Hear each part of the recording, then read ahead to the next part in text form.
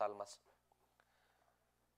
para enriquecer nuestra fe, nuestra relación con Dios en un tiempo eh, de tanta tiniebla y oscuridad, pero Dios prometió que habría luz y es que es un gran tiempo. Yo lo bendiga también a nuestros hermanos de Ecuador que han viajado hoy día. Gloria al Señor.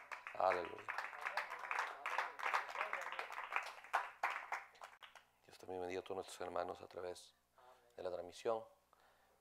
Es importante su fe, su respeto a la palabra de Dios. Y es que juntos vamos a ir a la, a la Biblia. Apocalipsis capítulo 6.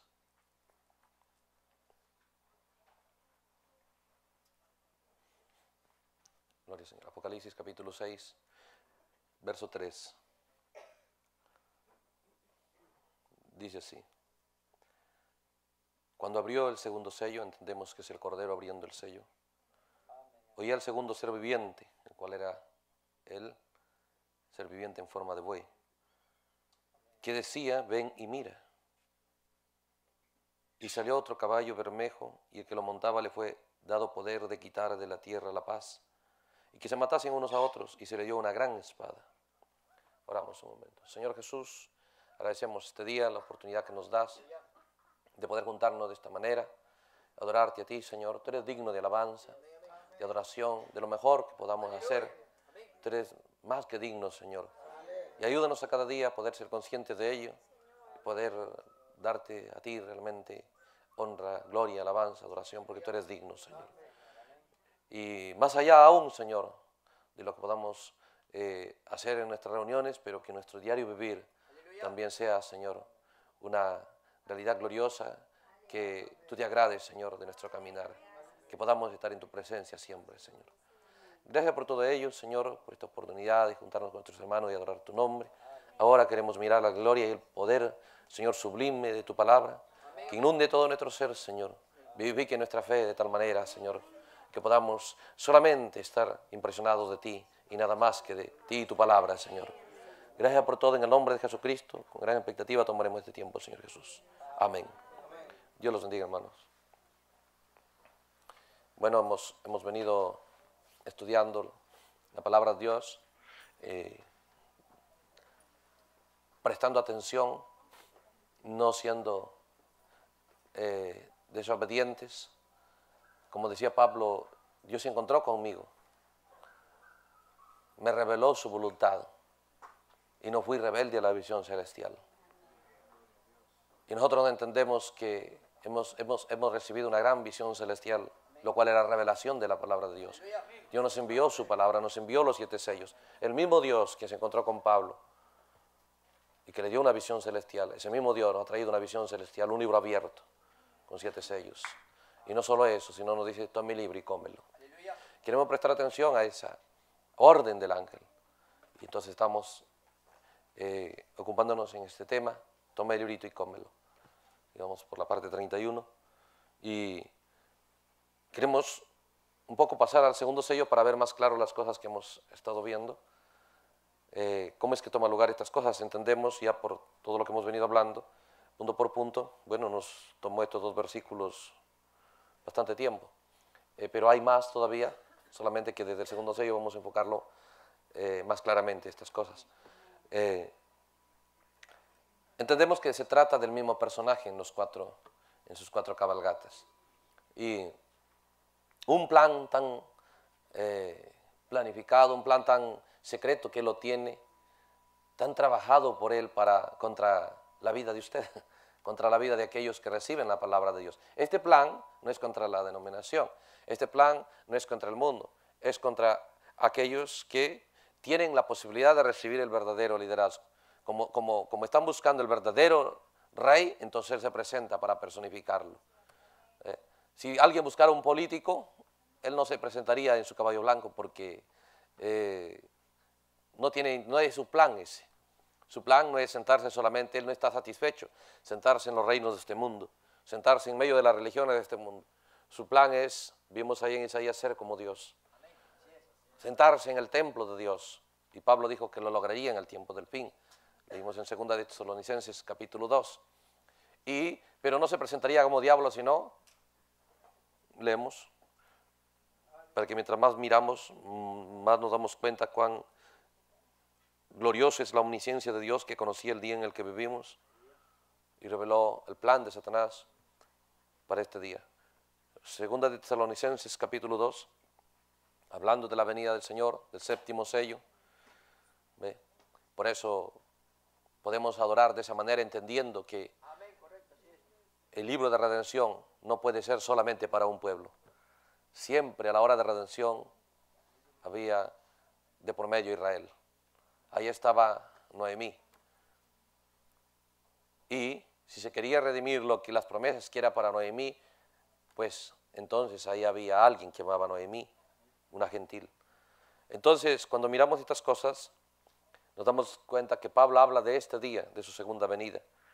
Él dice, con respecto a la venida de nuestro Señor Jesucristo y nuestra reunión con Él, os rogamos, hermanos, que no os dejéis mover fácilmente de vuestro modo de pensar.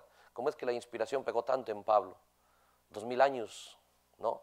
Eh, su visión, la unción en la que él predicaba aún, él podía tener la enseñanza que iba a ser eh, hecha clara y necesaria dos mil años después. Qué calidad de, instrumento que Dios tuvo, ¿no? Pablo, un gran mensajero. Entonces dice, eh, os rogamos que no, hermano, dice el verso 2, que no os dejéis mover fácilmente de vuestro modo de pensar en cuanto a la venida del Señor Jesucristo. El pensar tiene que ser el correcto, porque habrá espíritus buscando mover nuestro pensamiento acerca de su venida. Y la venida de Jesucristo es el séptimo sello. ¿Sí? Y el séptimo sello es un misterio triple, que es voz de aclamación, voz de arcángel y trompeta de Dios. Esa es su segunda venida. Entonces, el pensamiento de la segunda venida tiene que ser el correcto. Si no es el correcto, la gente perderá esa opción. Por eso Pablo dijo, toda la táctica de Satanás es para que se mueva el pensar correcto de la gente. Se da cuenta el entendimiento correcto. Entonces dice, no dejéis mover fácilmente de vuestro modo de pensar, ni, os, conturbéis, ni por espíritu, ni por palabra, ni por carta, como si fuese nuestra, porque habrá gente que buscará querer probar que la Biblia dice esas cosas. En el sentido de que el día del Señor está cerca. Nadie os engañe en ninguna manera, ¿Por qué? Porque no vendrá la venida del Señor sin que antes venga la apostasía. Entonces Pablo dice, antes de eso vendrá el impostor de Cristo, la unción de apostasía. Y, eso manifestará el hombre de pecado, el hijo de perdición. Todo, toda la realidad tremenda se basa aquí en este versículo 3, que es aquello que debemos abrir nuestros ojos y vamos a ver por los sellos. Pero dice este personaje al manifestarse, su objetivo no es, no es manifestarse, el hijo de perdición, no es manifestarse en el mundo allá, no es manifestarse en la política, no es manifestarse en las esferas de demonios, es manifestarse donde, dice, el cual se opone y se levanta contra todo lo que se llama Dios, o es objeto de culto tanto que se siente en el templo de Dios, como Dios, haciéndose pasar por Dios. Entonces, es fácil estas cosas, que definitivamente el tiempo no nos alcanza en un solo servicio, por eso que estamos buscando nada más centrarnos en algunos puntos, porque aquí nada más podríamos ir a esta parte y mostrar lo que es Dios para este día. Pero en los, en los sermones anteriores hemos visto eso. ¿Se da cuenta? La única identificación que Dios siempre ha tenido y tiene en esta hora es con su palabra. Entonces toda la táctica de Satanás era, será dejar la palabra de Dios en segundo plano, mínimo. Si lo puede dejar en el último, mejor, pero mínimo en segundo plano. Y colocar, sustituir por algo más. Entonces, eh, ¿qué, tremendo objetivo de este personaje, sentarse en el templo de Dios. Bueno, eso no es un lugar físico de, sin vida, construido por material de la tierra, de concreto, ladrillo, lo que sea. No, no, eso, ese templo de Dios es cada creyente. Por lo tanto, dice Pablo, la amenaza y el objetivo de Satanás es sentarse en el templo de Dios como Dios. Eso es la vida suya. Él tiene un plan, es una ambición que él tiene. Usted dice, ¿y, qué le importa mi vida? Simplemente Dios viene y nos muestra. Ah, cuando Satanás miró tu vida en el tiempo del fin, miró la gloriosa realidad con la que Dios ha dotado a cada uno de sus hijos, recursos tan poderosos que Dios ha colocado para cada uno de sus hijos y sus hijas en el tiempo del fin, que Satanás lo codicia, sabe que si él tomaría lugar de esa vida, él cumpliría muchos de sus propósitos, muchos de sus objetivos. Él no está contento habiendo conquistado todo, ha conquistado muchas cosas en el primero y en el segundo cielo. Y él no le satisface eso. Porque los reinos de esta tierra, eh, Satanás cuando tomó lugar los reinos de esta tierra, él empezó a trabajar por conquistarlos, no, no de, simple así, rápido lo logró. No, logró, trabajó por conquistarlos. Y cuando lo logró, en su totalidad, cuando lo logró en su totalidad, fue en los días de Jeremías, donde invadió Jerusalén, entonces llegó a ser la cabeza de oro. Entonces llegó a ser la cabeza de oro. Entonces él, no podía lograr su objetivo final si no conquistaba Jerusalén, porque Jerusalén era la capital del reino que el dueño del universo trataba con esa gente, que el dueño del universo, ¿ve? el creador del universo, tenía una relación con ese pueblo. Entonces, todo lo demás se apropió, Dios le dejó que vaya, pero su ambición no era todo lo demás, él quería justamente donde Dios era adorado, donde Dios tenía un plan con esa gente, él quería controlar ahí. Y lo logró durante el mundo de Babilonia, y la Biblia nos profetiza que Babilonia volverá una vez más. Babilonia viene de regreso. Y Dios ya mostró cómo sería. Serían los días como de Jeremías. Habría un profeta como, como, como Jeremías, habría un tiempo como los días de Jeremías, donde el libro sería hallado, el libro sería traído de regreso, sería traído a escena una vez más. Entonces, en ese tiempo Satanás se presta para traer a escena una vez más Babilonia. Allá fue un tipo, aquí es su realidad, su plan real.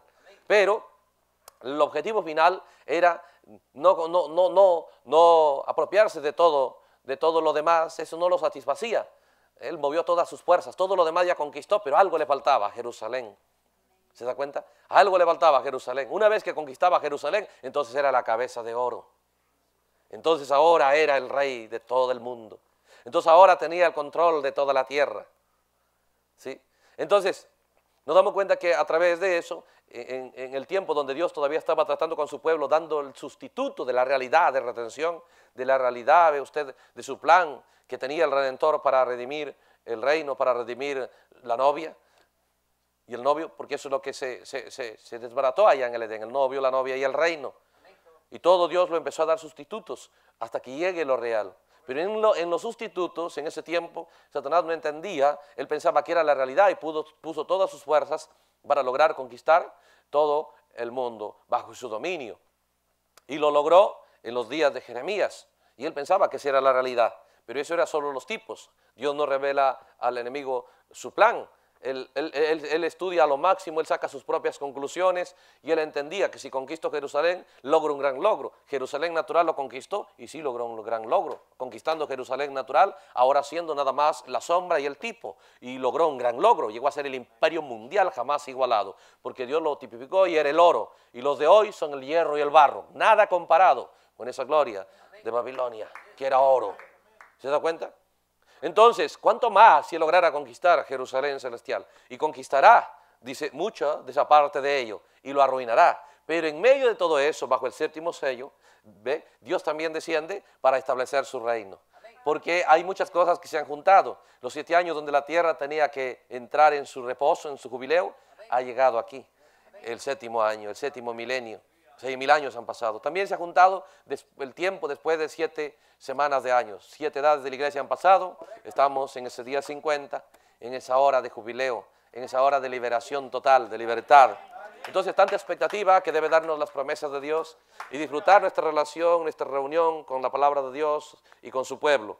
Porque verdades de, de la palabra de Dios explotarán hacia nuestros corazones, iluminando el mundo de nuestra alma, haciendo polvo el reino de las tinieblas, porque la piedra cortada sin mano viene en esos días donde el reino es hierro y barro.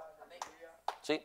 Entonces, cuando nosotros nos damos cuenta aquí, dice Pablo que esto tomaría lugar. Entonces, ¿cómo se propone él conquistar una amenaza, un, un plan, una decisión de, de venir contra su vida?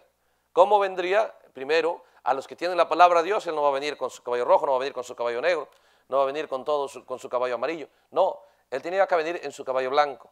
Entonces Dios abrió los siete sellos para que nosotros recibamos el entendimiento de su plan, de su ataque contra la vida de cada persona. Y esto es individual. Esto es individual porque Dios con los gentiles sobra de una manera individual. Con los judíos sobra ya como nación, pero con, cada, con los gentiles de una manera individual como persona. Por lo tanto, el interés debe ser personal suyo. Recuerde, Dios no tiene nietos, solo tiene hijos, por lo tanto usted no puede eh, tal vez eh, confiarse en lo que tiene mamá, en lo que tiene papá, en lo que tiene el predicador. No, no, no, es personal. Usted debe tener esa realidad victoriosa con Dios y evitar el éxito de Satanás en la vida suya. En la vida suya. El templo de Dios es la vida suya. Entonces Satanás tiene amenaza, dice, yo voy a sentarme en ese templo. Mira, tiene dones, tiene esto, quiero ese lugar. Así como, como Babilonia en lo, en, lo, natural aquí, Babilonia en lo natural. Mira, dice, allá tienen petróleo, quiero ese país, quiero esa tierra y no quiero pagar nada por ello. Simplemente busco una excusa, los acuso de terroristas y me voy, invado, lo bombardeo, como tengo el poder para hacerlo y, nada más saco noticias afuera que nosotros somos los buenos y que ellos son los malos y nos apropiamos, así como en los días de eh, Nabot. Jezabel en la escena se apropiaba de lo que quería y lo acusaba al bueno de lo peor. ¿Se da cuenta? Entonces Babilonia aquí hace lo mismo con los reinos de esta tierra. Está haciendo lo mismo. Y también en su osadía, él no está contento con eso. Ya tiene, ya tiene las naciones, ya tiene la política, tiene la religión, tiene todas las cosas. La moral de la persona completamente se ensaña en ello. ¿Eh? Pero él no está contento con eso. Pablo miró y dijo, el peligro no está ahí, porque mientras conquiste eso, no hay problema. Mientras Dios todavía tenga un pueblo que ame su palabra, no hay peligro. Pero cuando Satanás dice quiere lanzar su último ataque contra aquellos que reciben la palabra de Dios y toman la palabra de Dios y toman el mensaje, entonces él quiere entrar a su vida y pervertirlo. Él no es creador, pero él ve la creación de Dios y busca abordarlos y pervertirlos. Siempre fue desde Génesis ahí. Él pervirtió a Esaú, él pervirtió a Balaán, él pervirtió a Datán, a Coré, a Virán, él pervirtió a, a Jacob, a, a, Esaú, a Judas, ¿ve? al mismo Demas allá con Pablo, ¿sí? Eh, y, así, tenemos muchos tipos en la Biblia. Nos damos cuenta. Entonces, eh, ¿cómo toma lugar estas cosas?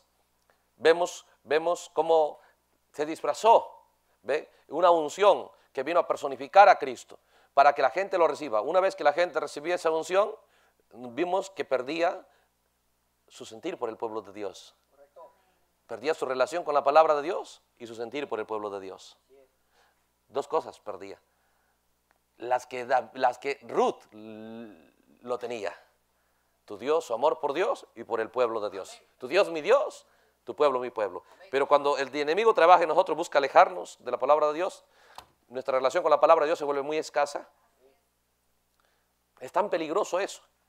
Se vuelve tan escasa y entonces uno pierde el sentir por el pueblo de Dios. Ya no le importa eh, eh, entender el privilegio que tiene de caminar en medio de creyentes. Pablo, por eso Dios le confía el misterio, porque Pablo entendía, yo me estoy moviendo en medio de gente que tiene su nombre listados en los cielos, en medio de seres eh, tan sobrenaturales con los cuales Dios está obrando, una Jerusalén celestial, una compañía de ángeles, no es un monte natural, ¿no? Pablo entendía esas cosas, por eso Dios le confiaba la revelación, porque Dios, cuando nosotros pedimos revelación y miramos la gente que son un poco de gente débil, mundana, cobardes, tibios, Dios no nos va a dar revelación, la palabra de Dios no ha sido enviado para esa clase de gente, la palabra de Dios ha sido enviado para los hijos de Dios, para gente que va a irse en un rapto, para gente que está anhelando redención, solamente que hay que tener entendimiento. Todos aquellos que Dios lo llama, les prepara, les lava el entendimiento para despojarse del ver humano y no eh, atarse a eso, como Moisés miraba un poco de adoberos, un poco de esclavos, pero no se ató a eso.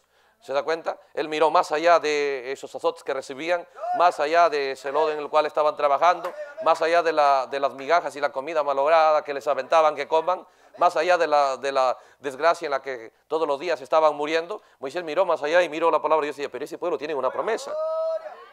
Y no importa su situación en la que esté, Dios no miente y Dios les cumplirá su promesa. Y Egipto no tiene promesa. Por lo tanto, yo sé con quién me conviene identificarme. Entonces es lo mismo hoy. Es lo mismo, es la fe que tenemos en este día. No importa lo que el diablo haya hecho con los creyentes, no importa cuánto los haya quietado, cuánto los haya vuelto tibios, cuánto los haya vuelto débiles, cuánto la gente esté en un lenguaje negativo, solo quejándose, solo dando gloria al enemigo, solo contando sus derrotas, solo contando sus luchas, sus pruebas, y a eso lo llaman vida cristiana. Luchas, pruebas, hermano, no son luchas, son derrotas, porque nosotros debiéramos estar como los guerreros gentiles, hablando de las victorias de Dios. Pero no importa en qué condición esté, la palabra de Dios tiene los recursos para liberar a los hijos de Dios, su mundo visible y su mundo invisible. Aleluya. El punto es cómo lo va a hacer. ¿Ve? Porque hay una unción que viene ahí. Y vimos cómo trabaja, vimos el sentir correcto, que no debemos dejar que eso, eso debemos vigilar dentro de nuestro corazón. El sentir que tenía Abigail por David y su pueblo, por aquellos que tenían la, la promesa de Dios. El sentir que tenía David por el pueblo de Dios. Cómo lo veía, el concepto que tenía Raab por el pueblo de Dios, el concepto que tenía Ruth por el pueblo de Dios. ¿Se da cuenta? Todos esos tipos, los guerreros gentiles, qué concepto tenían, pero también mire el concepto que Saúl tenía. ¿Ve? Mire el concepto que eh, Caín tenía por, por el pueblo de Dios, que era Abel. ¿Se da cuenta? Mire el concepto que tenía Balaán, mire el concepto que tenía Judas, mire el concepto que tenía eh, de Coré, Datán y el mismo Esaú. ¿Se da cuenta? Pero son las dos cosas ahí, son las dos cosas que están disponibles. Dos jinetes en su caballo blanco. Tan parecidos a Mateo 24, 24. Que si fuera posible engañaría al escogido, pero Dios envió un, un alimento celestial que más poderoso que la miel que comió Jonatán y sus ojos se abrieron y, recibió fuerza y entendió, mi padre está turbando, un líder falso, turbando al pueblo, los quiere llevar a la guerra sin comer, sin agua, todos débiles. ¿Ve? Pero ese poco de miel que Jonatán probó, oh, qué poderoso, qué poderoso. Ahora puedo ver claramente. Dios nos envió miel más mejor que esa miel. Dios nos envió la real miel de la roca. Aleluya. De la roca de la revelación. Por lo cual nuestra vista será aclarada a ese mundo invisible. No seremos inconscientes de ello. ¿Se da cuenta? Entonces, cuando miramos estas cosas, vamos a ir a mirar cómo toma lugar esto, porque hemos visto el plan de Satanás para debilitar el pueblo de Dios y luego, una vez que entra en la persona, de ahí la persona no se detiene ahí. Cuando él se aquieta, pierde su amor por la palabra de Dios, pierde su respeto por el pueblo de Dios, ya no está luchando por ser un buen ejemplo para cada creyente. Ya no está entendiendo, ¿ve? hoy estoy moviéndome en medio de un pueblo glorioso y tengo que caminar correctamente. Cuando él pierde esas cosas, Satanás no se detiene ahí con esa persona. ¿Sí? Él busca establecerse de tal manera para luego acabar con sus súbditos, porque leímos que la Biblia dice que él nunca dará libertad a sus presos. Por eso se da cuenta la gente afuera, no tienen libertad no son felices, no disfrutan las cosas, piensan, si yo hago esto, eh, estaré bien, me sentiré bien, no, están desesperados. Entran en inmoralidad, no les satisface, entran en tanto vicio, en, en tantas cosas, no les satisface. Al final, ¿ve? se pondrá de moda el suicidio ya, porque no hay nada que les satisfaga. ¿Se da cuenta? ¿Qué es? Optaron por aquello que realmente no hay lo que buscan. Porque el ser humano está diseñado para vivir bajo la influencia y bajo la unción del fruto del Espíritu. Amor, gozo, paz, paciencia, benignidad, bondad, templanza, mansedumbre. Pero, ¿ve? Él, dentro de él, anhela esas cosas porque está creado para eso. Está diseñado para eso. Y el diablo, sí, no te preocupes, toma un poco de droga, con eso lo logras. Toma un poco de inmoralidad, con eso lo logras. Corrómpete un poco, con eso lo logras. Deja un poco tu relación con Dios, con eso lo logras. Ellos hacen eso y no lo logran. ¿Se da cuenta? Pero creyentes que hallaron en la Biblia esa realidad, entonces en el tiempo del fin habrá creyentes que también hallarán esa realidad sublime. Ahora, vamos a leer una definición aquí de lo que se trata este segundo, este segundo sello y luego vamos a ver cómo se lleva a cabo, cómo, cómo pasa esto, cómo toma lugar su corona, cómo toma lugar eh, su victoria final bajo su caballo blanco, para luego soltar su arco, bajarse, tomar su caballo rojo y tomar su espada. Entonces, cuando miramos estas cosas vamos a leer un poco aquí.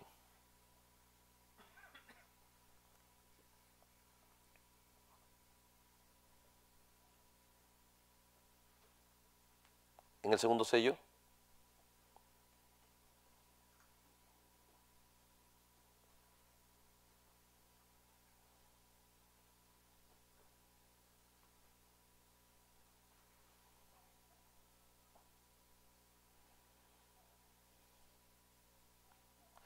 Vamos a leer aquí. Párrafo 284. Párrafo 284. Es tremendo porque podemos entrar tan reposados, tan alegres, tan contentos, nada de preocupados, ni dudando, ni temiendo que podíamos errar, por cuanto ya Dios sabe lo que significa su palabra, lo que significa este misterio. Completamente las cosas están eh, reveladas. Cuando se hace difícil? Cuando el hombre empieza a proyectar su idea, a dársela de, a sufrir los trastornos de profeta y a decir, oh hermano, el Señor me está revelando estas cosas, porque el Señor me, está, me habla, porque el Señor se encuentra conmigo y me da su palabra, Él me habla a mí. Dijo, yo como Moisés hablo cara a cara. La forma de hablar con cada uno de sus hijos es por su palabra. Es la forma original. La forma secundaria es por sueños, por dones. Cuando el creyente ya no presta atención a la palabra de Dios, Dios es una forma secundaria. ¿Sí? Entonces, eh, dice la palabra de Dios aquí. El segundo sello, párrafo 284. Se convocó el concilio, ellos siguieron y eligieron un obispo principal.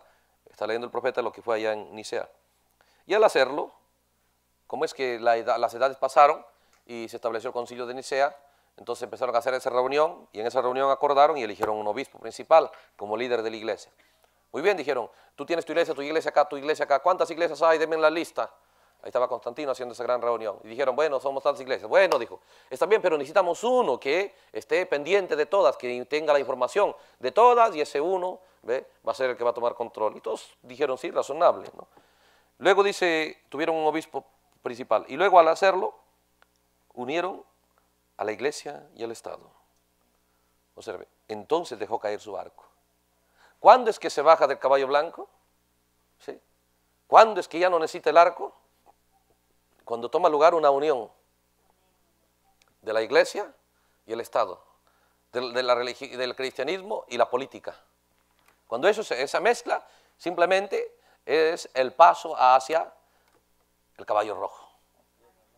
¿Sí? De esa manera pasa hacia a cabalgar su caballo rojo. Entonces él deja caer su arco, se baja de su caballo blanco, se montó su caballo bermejo. Ahora sí puede matar a cualquiera que no estuviere de acuerdo con él. ¿Sí? Ahora puede matar. Recuerde que primero es una unción, es un sentir que viene a usted, al mundo de su pensar, al mundo de sus deseos, por eso hablamos del mundo del deseo. Un deseo de solamente querer que el predicador se encargue de toda la administración de la vida cristiana y yo pues nada más venga y cumpla con lo que deba hacer, pero el predicador es el que se encarga. Es una unción, un sentir del mundo del infierno que, que viene a cada persona, pero es un espíritu. Sí, pero cuando ese espíritu se instala y un hombre lo acepta, alguien lo acepta, ese pensamiento, porque el diablo necesita gente que no tiene dones, les, les dé sentir que ellos no quisieran preocuparse por su vida cristiana, ellos quisieran dejar lo que otro se ocupe, porque ese es el mundo de hoy. Cada uno quiere tener dinero para ya no limpiar su casa, para pagar que otro lo haga. Cada uno quiere tener dinero para ya no cortar ahí, arreglar su jardín, pagar que otro lo haga. Cada uno quiere tener dinero para qué? Para ya no él hacer su casa, que pagar que otro lo haga. Para no él ve usted eh, cocinar, pagar que otro lo haga. Para incluso él ni conducir su carro, pagar que otro lo haga. Para no lavar su ropa, pagar que otro lo haga. Cada uno tiene dinero para pagar que otro lo haga. Pero esa misma unción viene en el mundo de la vida cristiana. Nada más con tal, por eso que se da cuenta cuando le habla a la gente de diezmo de ofrenda, sí, sí, sí, sí, porque es una unción del mundo. Dice, mira, yo te lavo esto, yo te hago tu, limpieza tu casa, esto. Sí, sí, no hay problema. ¿Cuánto me cobras? Esa es una unción de la forma de la vida que se vive aquí en la tierra. Y cuando uno, cuando uno, cuando ese espíritu viene, busca jalar la iglesia al pensar humano, al pensar natural. Entonces cuando el predicador empieza a hablar de diezmo de ofrenda y todo eso, es un tema que cae bonito a la gente. No le molesta. Sí, amén. Porque no hay que ser ladrones, porque no hay que ser esto, porque no hay que ser otro. Sí, sí, sí. ¿Sabe por qué? Vengo, dejo mi ofrenda, dejo mi diezmo y él que se encargue de mi, de, mi, de mi trabajo espiritual, de mi vida espiritual. Lo que debiera hacerlo yo, que él se encargue. Pero triste, triste por eso. ¿Por qué? Porque en, el mundo de Dios no se encarga nadie por usted. Es usted quien debe encargarse. Es usted quien debe entrar a la presencia de Dios de una manera personal. Y si es que así dea su dinero, dea lo que sea, eso simplemente es un engaño. Es personal. Por eso Juan tipificó a todos aquellos que se van en el rapto. A Juan se le dijo, toma, ya el séptimo ángel recibió, pero anda tú al ángel fuerte, dile que te dé el librito. ¿Se cuenta? Entonces el profeta dice, es una unción tan tremenda que si nos hablan de dinero no nos molesta, pero si nos hablan de que cada uno tenemos que entrar a la palabra de Dios, qué difícil eso. ¿Eh? hay algo, porque todo el infierno combatirá eso. Pero el diablo, por eso se da cuenta cómo tiene éxito la predicación allá afuera del mundo religioso. ¿eh? Oh, hermano, así le saquen 5, 10 ofrendas en cada culto. Ellos contentos. Porque es una unción. Entonces, predicadores, eh, bajo la unción del enemigo, el diablo empieza a enseñarles y a inspirarles la clase de unción que se mueve. Entonces se saca provecho y se beneficia. Sí, sí, sí, no hay problema. Yo, yo, yo me encargo de tu alma. Nada más trae tu mejor ofrenda, trae tu mejor eh, diezmo, trae esto, trae nada más, trae. Y luego vive como sea, yo me encargo. Cualquier problema, cualquier caída que tengas, a la oficina del pastor, ahí arreglamos todo. Esto se lo creen. Porque la misma unción de las indulgencias usted va a ver como cabalga su caballo negro. Es lo mismo. ¿Ve? ¿Pero qué es? La realidad no es esa. Es una unción que cuando ya avanza, listo, la gente se acostumbra y sácalo de eso. Y solamente, como dijo alguien, hermano cumplo con mi yemo, cumplo con mi ofrenda de mi alma sin cargar el pastor. Y tomando escrituras y distorsionándolo, porque dice que uno debería considerar, dice el predicado, como, como alguien que va a dar cuenta por tu alma. Pero la gente rápido lo interpreta, es que él va a ir allá y va a decir, Señor, aquí está, yo, yo, yo te doy la lista de los que van a pasar. Y el Señor, bueno, lo que tú digas, pastor. Así piensan. ¿Sí? Pero el profeta dice, ¿cómo vamos a dar cuenta de las almas de la gente? Que en cada culto que ellos vienen invierten tiempo, dice. Y Dios nos va a demandar de ese tiempo que invirtieron a ver si no lo destapamos para que se vengan vacíos y se vayan vacíos. Sino que hayamos tenido recursos de la palabra para que no se vayan vacíos. Por eso tuvimos un profeta que entendía estas cosas. Cuando él llegaba allá al tabernáculo, a su tabernáculo a predicar, primero se iba, daba la vuelta por todo el tabernáculo mirando las placas de los carros. A ver, si este es de Nueva York, este es de, Los Ángeles, de California, de, de, Washington. Empezaba a mirar y a sacar cuenta cuánto distancia viajó la gente para esa reunión. Y una vez que veía tanto han viajado, Señor, empezaba Dios, que no se vayan vacíos. Porque él decía, yo sé que Dios me va a demandar eso a mí. Dios me va a demandar eso a mí. Y si es de esa manera, pero no la interpretación errada. Ah, que un pastor te tiene que presentar allá. Es que, observe. Voy, voy a leer algo de ello.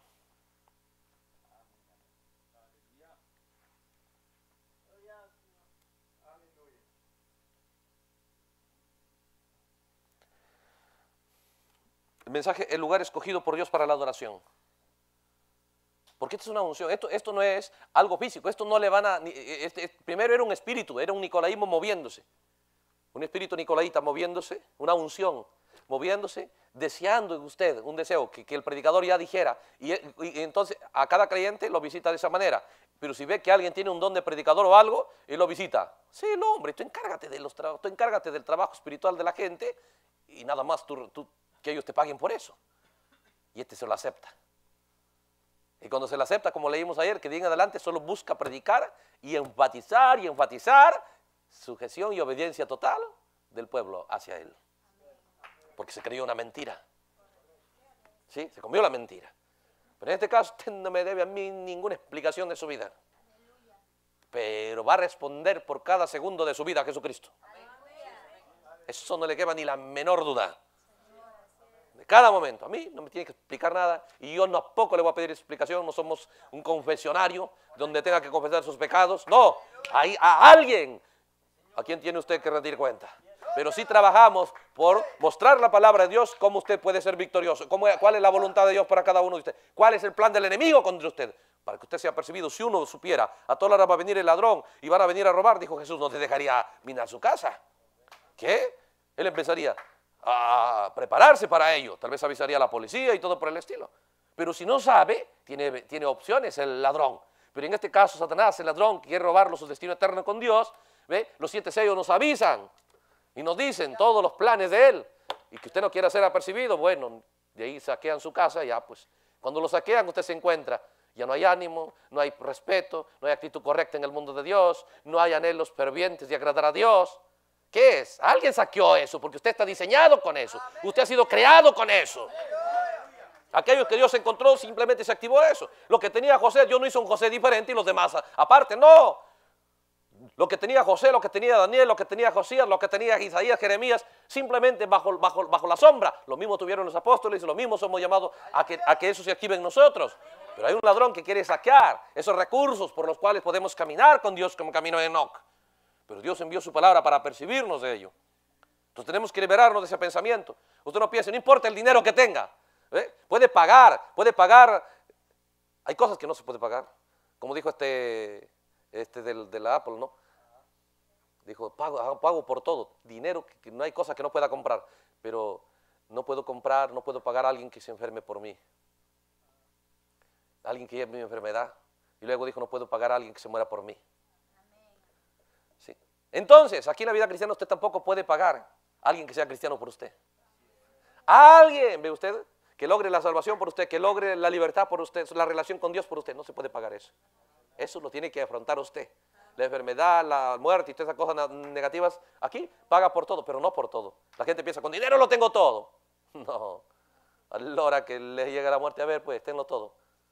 ¿Se da cuenta? Hay cosas que no puede pagar, no puede sustituir otro. Usted puede mandar a alguien, anda por mí y represéntame allá. Tiene el dinero, te pago lo que pida, lo que sea, contrate el mejor abogado, el mejor arquitecto, el mejor lo que sea, teniendo dinero. Pero cuando le toca enfrentarse y tener su audiencia con la muerte, a ver, a ver, a ver, mande, a alguien. La muerte, no, no, no, yo quiero contigo, no me vengas con tus enviados. Así es la audiencia para redención. Con el Redentor, usted no puede enviar un vicario. La doctrina de la religión es, no te preocupes, ¿ve? como dijo alguien, blasfemando la verdad de Dios. Dios primero tiene que venir al predicador. Del predicador recién va usted. ¿Se da cuenta? Claro, así dice el Papa, que primero él, después ya la iglesia. Uno no entiende el Papa, la denominación, pero que en el mensaje deje esos espíritus se hayan filtrado, se hayan metido y que la gente le diga amén a esas cosas tristes. Pero hermano, en medio de todo eso habrá una novia gloriosa que era polvo, bajo la piedra cortada sin mano, cada reino del enemigo. No importa cuánto haya avanzado el diablo, no tendrá la victoria. La victoria de la palabra de Dios está garantizada. Y no importa cuántos no le prestan atención, habrá gente que sí le prestará atención. No importa cuántos aceptan esa unción de tener vicarios, de tener mediadores, de, poder su confianza en el hombre. Tuvimos un profeta que nos enseñó la verdad, el único lugar provisto por Dios para la adoración. Párrafo 113. Párrafo 113. Dice esto. Párrafo 113. Esperamos un poco que, usted lo encuentre, lo lea, porque son verdades que usted, son recursos escriturales que usted lo necesita y debe llevárselos. No queremos nada más predicar, ¿ve? Y mostrarlo, ve que tal vez tenemos inspiración o algo, no. Que usted entre igual, se vaya con esas escrituras. Que esas escrituras vayan con usted, que se confronte con ello. Y son escrituras muy necesarias para que nosotros podamos tener una relación correcta con Dios en esta hora.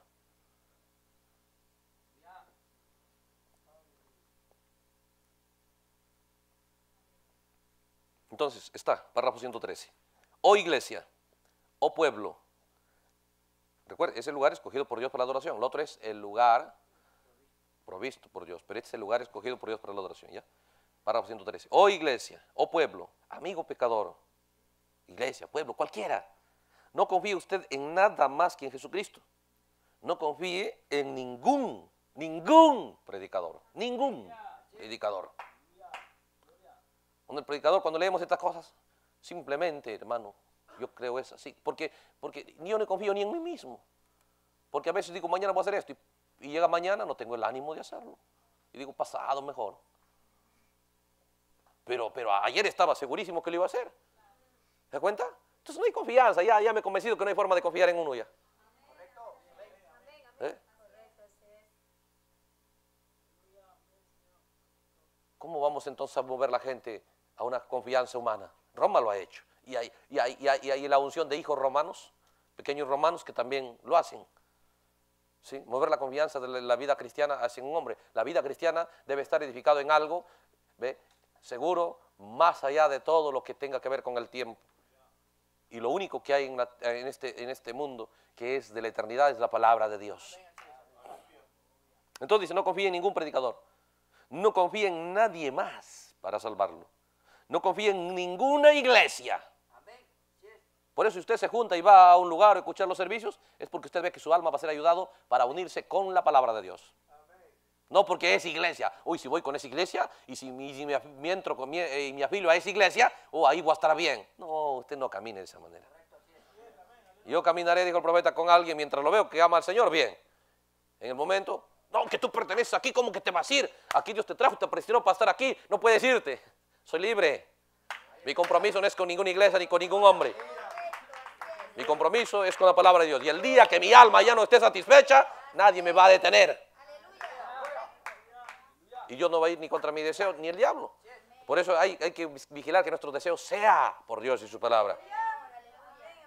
¿Se da cuenta? Así camina usted.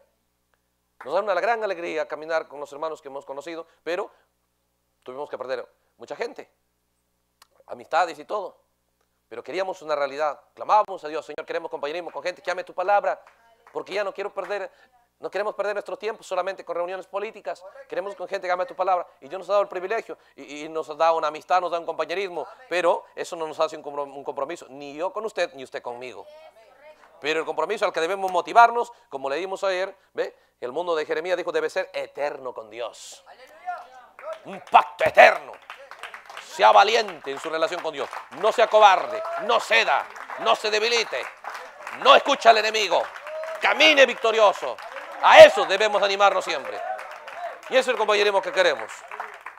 No confíe en ningún en nadie más para salvarlo. No confíe en ninguna iglesia, en ningún credo, en ninguna denominación. Confíe solamente en Jesucristo porque Él es la luz de la hora.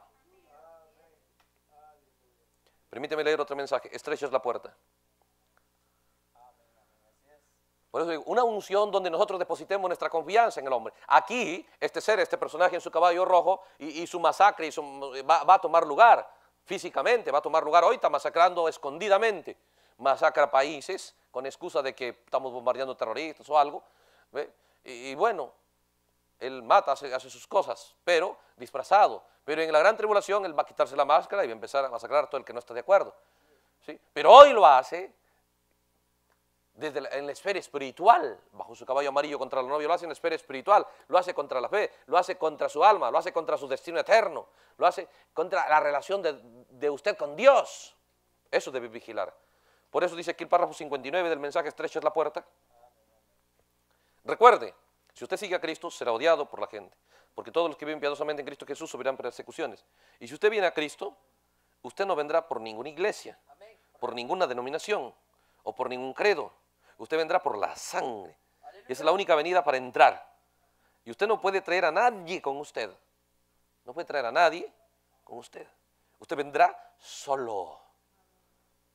El predicador no se puede, hermano, es que yo voy a responder por ustedes, es que estos son mi grupo, son mi gente, son mi familia, yo voy a ir con ustedes y le voy a decir, Señor, mira, te presento a mi familia. Así no es, esa es una mentira grandísima. Que el mundo gentil, dijo Jesús, Jesús dijo, los gentiles son palabreros. Y piensan que por su palabrería serán oídos. ¿Sí? Esa es la unción que está sobre el mundo de los gentiles. Nos gusta ser palabreros y tratar de impresionar. ¿Se da cuenta? Pero eso no es así. Por eso Dios nos envió un mensaje para que nuestra fe sea enfocada correctamente. Mientras estamos aquí, como creyentes, podemos juntarnos, animarnos, motivarnos, ayudarnos, enfocarnos. Mira lo que dice el mensaje que Dios envió para ti, el libro abierto lo envió para ti, hermano. Toma, come el libro. Está, bueno esto. Saborea nomás. Todavía te falta fuerzas. Toma, come. A eso nos podemos motivar. Pero de que yo te voy a presentar allá, no. Qué soberbia. Dice, usted no podrá traer a nadie con usted. Usted vendrá solo y se parará en su propia confesión, en su propia fe. Y usted no llegará por medio de su pastor ni por la fe de su madre. Usted tendrá que venir como individuo. Cuando usted venga, ve a Dios. Pero muchas veces nosotros escogemos tan tontamente. Fuera de eso es una escogencia tonta. ¿Eh? Ah, te preocupes. hermano, a veces algunos hacen chistes, ¿no? Yo digo que son chistes, pero algunos dicen que es cierto. Porque uno dice, hermano, ¿y quién va a presentar allá al creyente? ¿Qué pastor te va a presentar? Si no tienes un pastor, ¿quién te va a presentar? Son, chistes, ¿no? Son bromas que les gusta hacer. Dijo el profeta, es una edad chistosa esta. ¿Eh? Pero cualquier otra escogencia, aparte de que solo sea Jesucristo, dijo, es una escogencia tonta. Entonces volvemos a ver aquí, donde estábamos leyendo, en el segundo sello.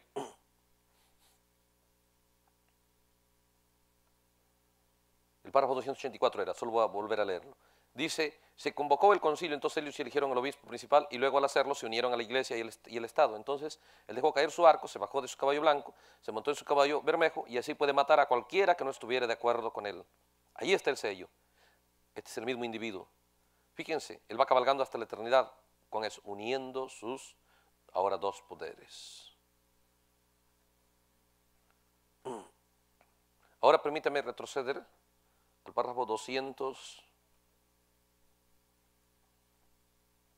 260 y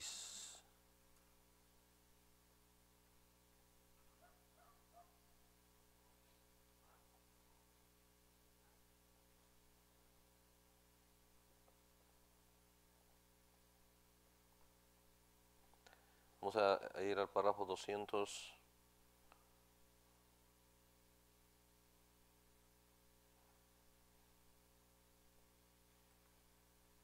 Sí, 67.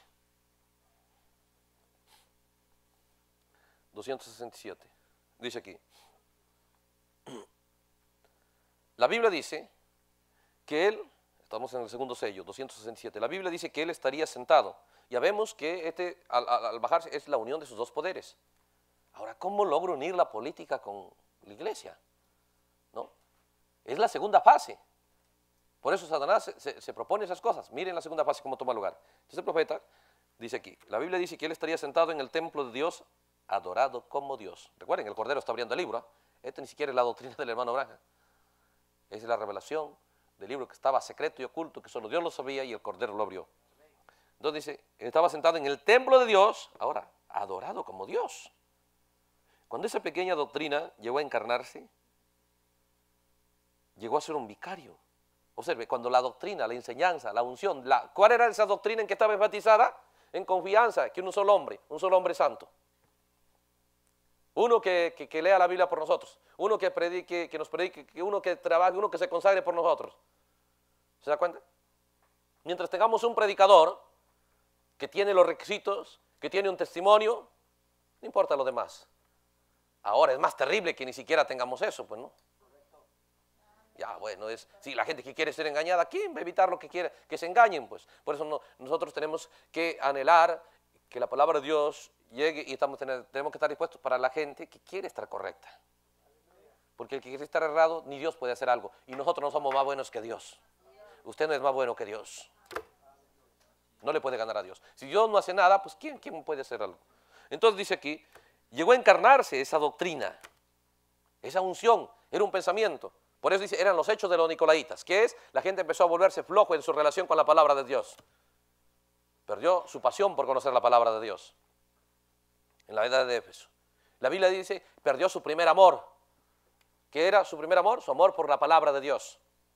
Lo perdieron. Una vez que perdieron eso, entonces nada más se confiaron que tener un predicador que sea sabio, un predicador que conozca la palabra de Dios suficiente. Pero una vez dice que esa doctrina y ese pensar, que era una unción, llegó a encarnarse y entonces llegó a ser un vicario. Entonces el plan de Satanás y el modelo de Satanás, el, así llamado cristianismo, pero no es cristianismo, sino la personificación del cristianismo, que opera Satanás en el mundo de Satanás y en la obra de Satanás y en el reino de Satanás, y, ve, y bajo el protagonismo de Satanás es el sistema de vicario, de que usted no puede tener relación directa con Dios y su palabra. No, no, no, tú no tienes que entrar. Cuidado, no te metas a la palabra. Es el lugar santísimo, nadie puede entrar. Eso solamente entra el sacerdote. Usted volvió al sacerdocio arónico, levítico. Porque el velo fue rasgado. El que entraba moría. Pero ahora el que no entra muere. Ahora el que no entra muere. ¿Sí? Pero esta unción llegó a ser una doctrina que por dos mil años lo han propagado. Y la gente salió de la dominación, pero no ha salido el espíritu, el demonio, el demonio que trae a escena vicarios mediadores. ¿Se da cuenta? Entre Dios y el pueblo. Ese demonio no salió de la gente. No salió de, gente que tenía dones, que tal vez hasta fueron predicadores allá, vienen acá, y, pero el demonio no salió. Entonces el diablo viene y le, le propone, se da cuenta, ser un vicario y le gusta. ¿Por qué? Toda la gente va a llegar a mí. ¿Se da cuenta? Y yo solo llego a Dios. Nadie llega a Dios, solo ellos llegan a mí. ¿Se da cuenta? Es un sistema tan diabólico, tan mortal, que primero eran hechos y luego llegó a ser una doctrina. Entonces dice, el plan del diablo que era tener, el, cuando Satanás empieza a trabajar con nicolaísmo, luego busca establecer el sistema religioso de él, que su marca es la forma vicaria de adoración. Ya no es directa. Por eso que el pueblo no se preocupa.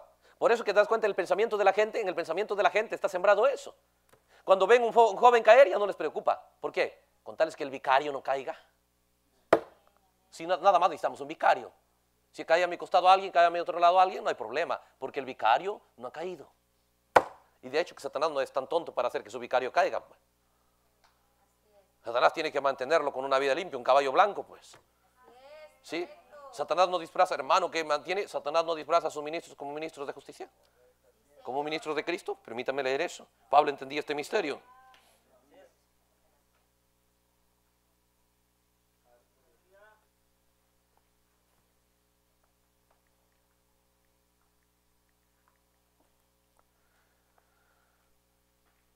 Segunda de Corintios capítulo 11.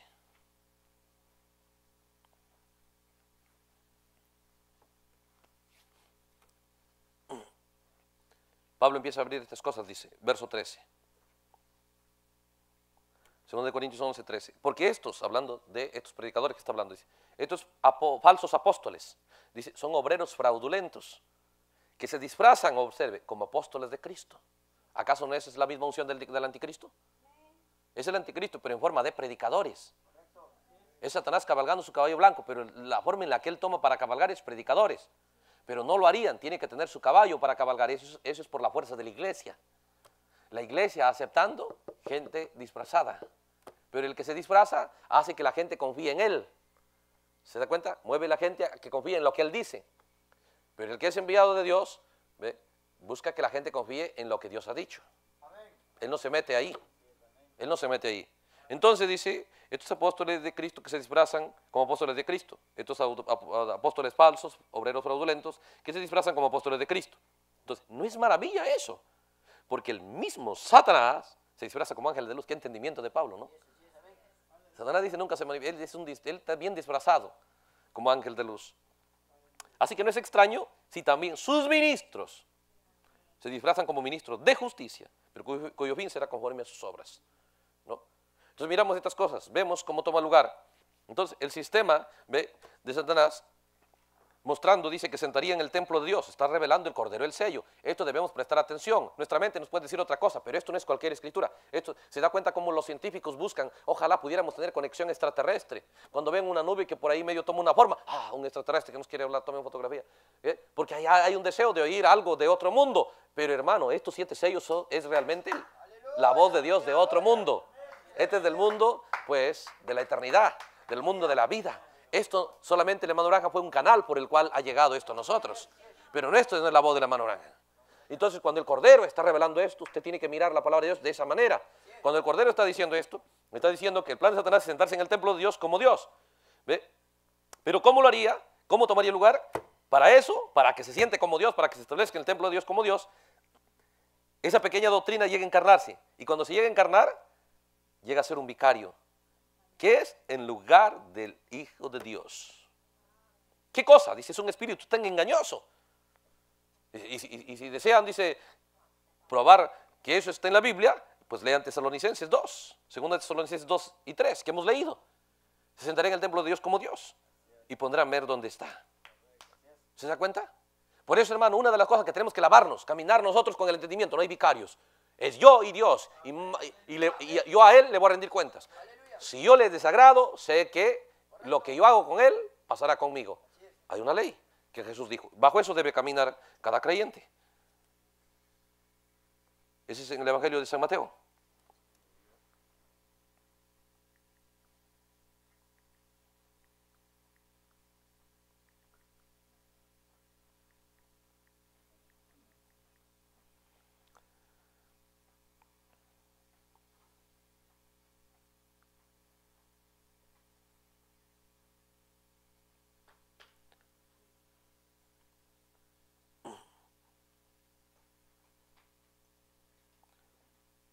Mateo capítulo 7.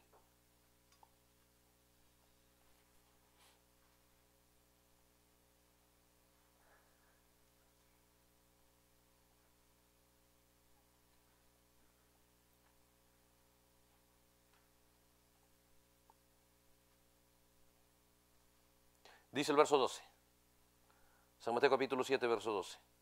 Estas son las cosas que debe ser claro en nuestro corazón. Por eso es glorioso juntarnos, hermano. Pero no se junte bajo la sombra de un predicador. Júntese bajo la sombra del Altísimo. No se junte bajo la sombra de una iglesia, de una religión. Entre bajo la sombra del Altísimo. Puede decir como el Salmo 91, ¿no? El que habita al abrigo de la iglesia, del predicador, no dice, al abrigo del Altísimo. Él morará bajo la sombra del Omnipotente. ¿Se da cuenta? Entonces, eso es lo que tenemos que mirar. Eh, eh, aquí dice eh, San Mateo capítulo 7, verso 12. Así que todas las cosas que queráis que los hombres hagan con vosotros, así también haced vosotros con ellos, porque esto es la ley y los profetas. ¿Quiere usted realmente? Recuerde, no va a vivir dos veces aquí en la tierra. Esta es la única jornada que tiene. Recuerde, esta jornada que usted tiene aquí en la tierra es única. No hay otra para usted. Y así es que disfrútela a lo máximo. ¿Quiere que la vaya bien?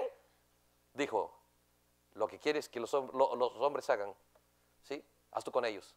La misma regla es con Dios, lo que quiere que Dios haga contigo. Lo que quiere que Dios haga por ti, haz tú con Él. Si tú le agradas a Él, te agradará a ti.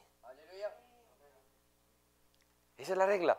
Por eso cuando nosotros caminamos, no queremos, no queremos nosotros despojarnos o evadir nuestra responsabilidad de cristianismo real, de echarlo nada más eh, como que lo encargamos que otro lo haga por nosotros. No, no, no.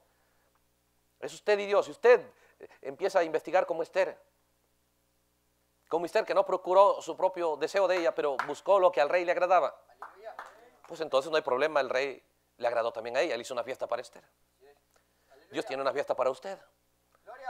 ¿Sí? Pero tiene que caminar con este entendimiento. Yo no busco agradar hermanos, no busco agradar gente, porque Pablo mismo dijo, si buscara agradar hombres, no sería siervo de Cristo.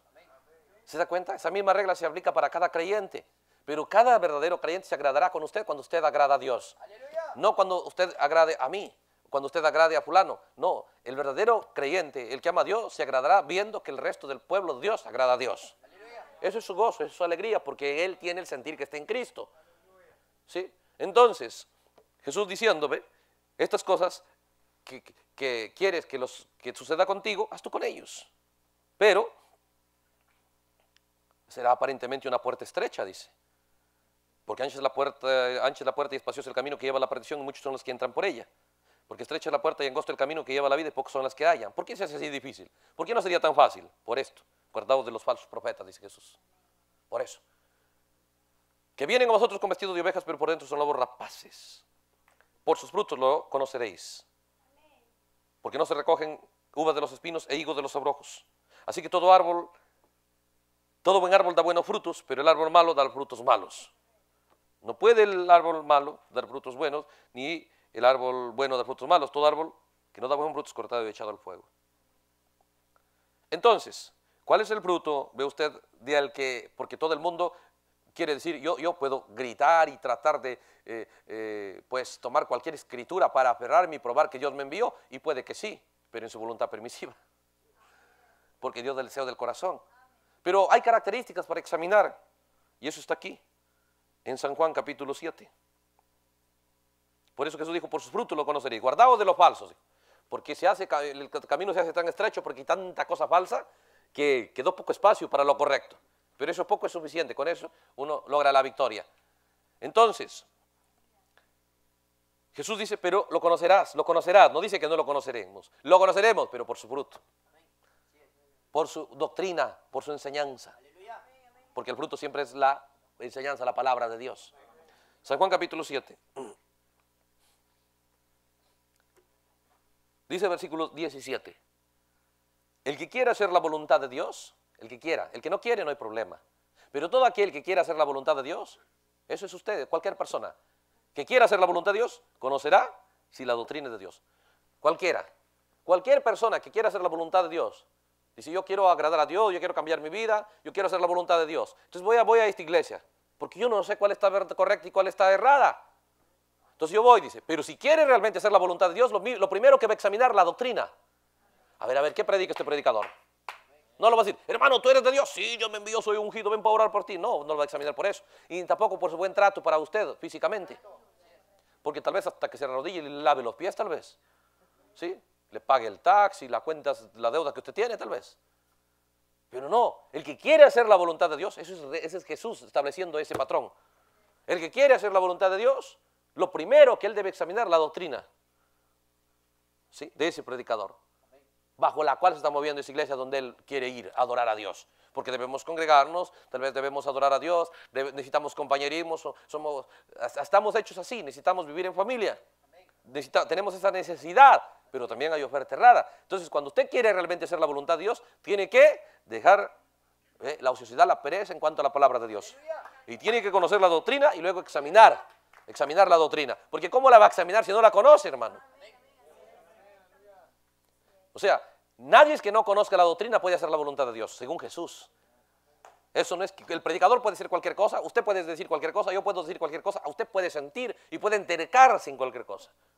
Pero Jesús ya estableció el patrón de cómo operar en la voluntad de Dios. Y, es más, Jesús dijo en Mateo 7, mm, a ver, a ver, luego volvemos ahí, leamos Mateo 7. En San Mateo capítulo 7, el versículo 21, no todo el que me dice Señor, Señor entrará en el reino de los cielos, sino el que hace que la voluntad de mi Padre que esté en los cielos. El que hace, ese entrará. Entonces, pero ¿cómo hacemos la voluntad de Dios? ¿Cómo? Por eso Jesús, una vez más, volvemos a San Juan capítulo 7, y Jesús dice, el que quiere hacer la voluntad de Dios, lo primero que tiene que hacer, dice, el que quiere hacer la voluntad de Dios, San Juan 17, 17, el que quiera hacer la voluntad de Dios está disponible. Cualquiera puede, si quiere. Pero si quiere hacer la voluntad de Dios, conocerá si la doctrina es de Dios. Es lo primero. Cualquier creyente, si no conoce la doctrina, él nunca podrá hacer la voluntad de Dios. Porque él no podrá saber si lo que se predica es verdad o no es así. Él no podrá saber la diferencia de lo verdadero y lo falso. Porque lo falso y lo verdadero no se, no se diferencia por, por vista, porque ambos son caballo blanco. ¿Sí? Ambos son un caballo blanco, ambos son jinetes y aparentemente se ve lo mismo, pero no es lo mismo. Entonces la diferencia es por la doctrina, dice Jesús. Y el profético la diferencia es por la palabra de Dios. Entonces cualquiera que quiera hacer la voluntad de Dios, él tiene un compromiso con su propia alma. ¿Sí? Él debe conocer la doctrina.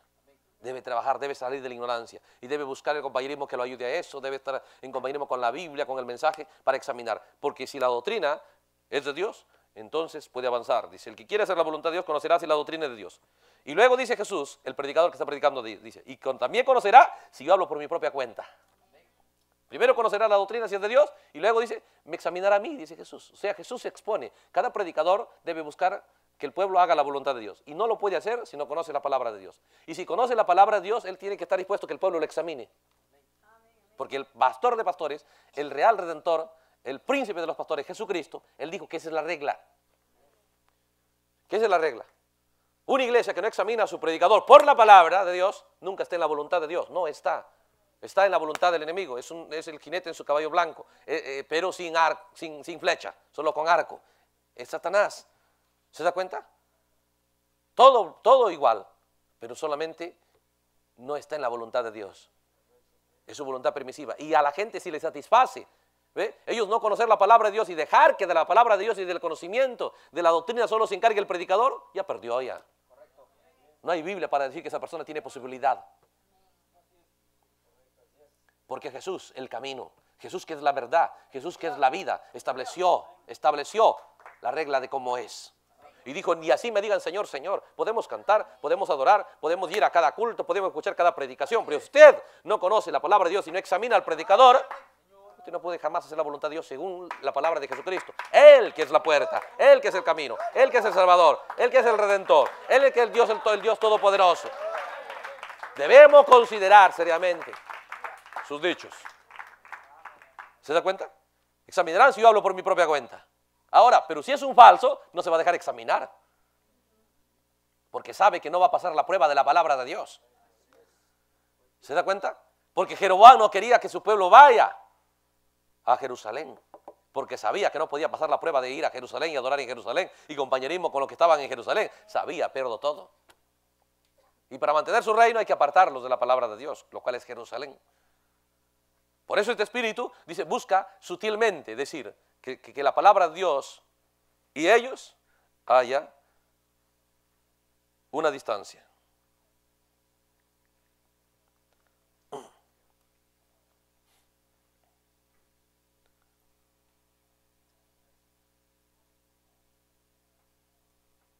Permíteme recordar nada más lo que leímos ayer. Es la edad de Éfeso el libro de las siete edades de la iglesia.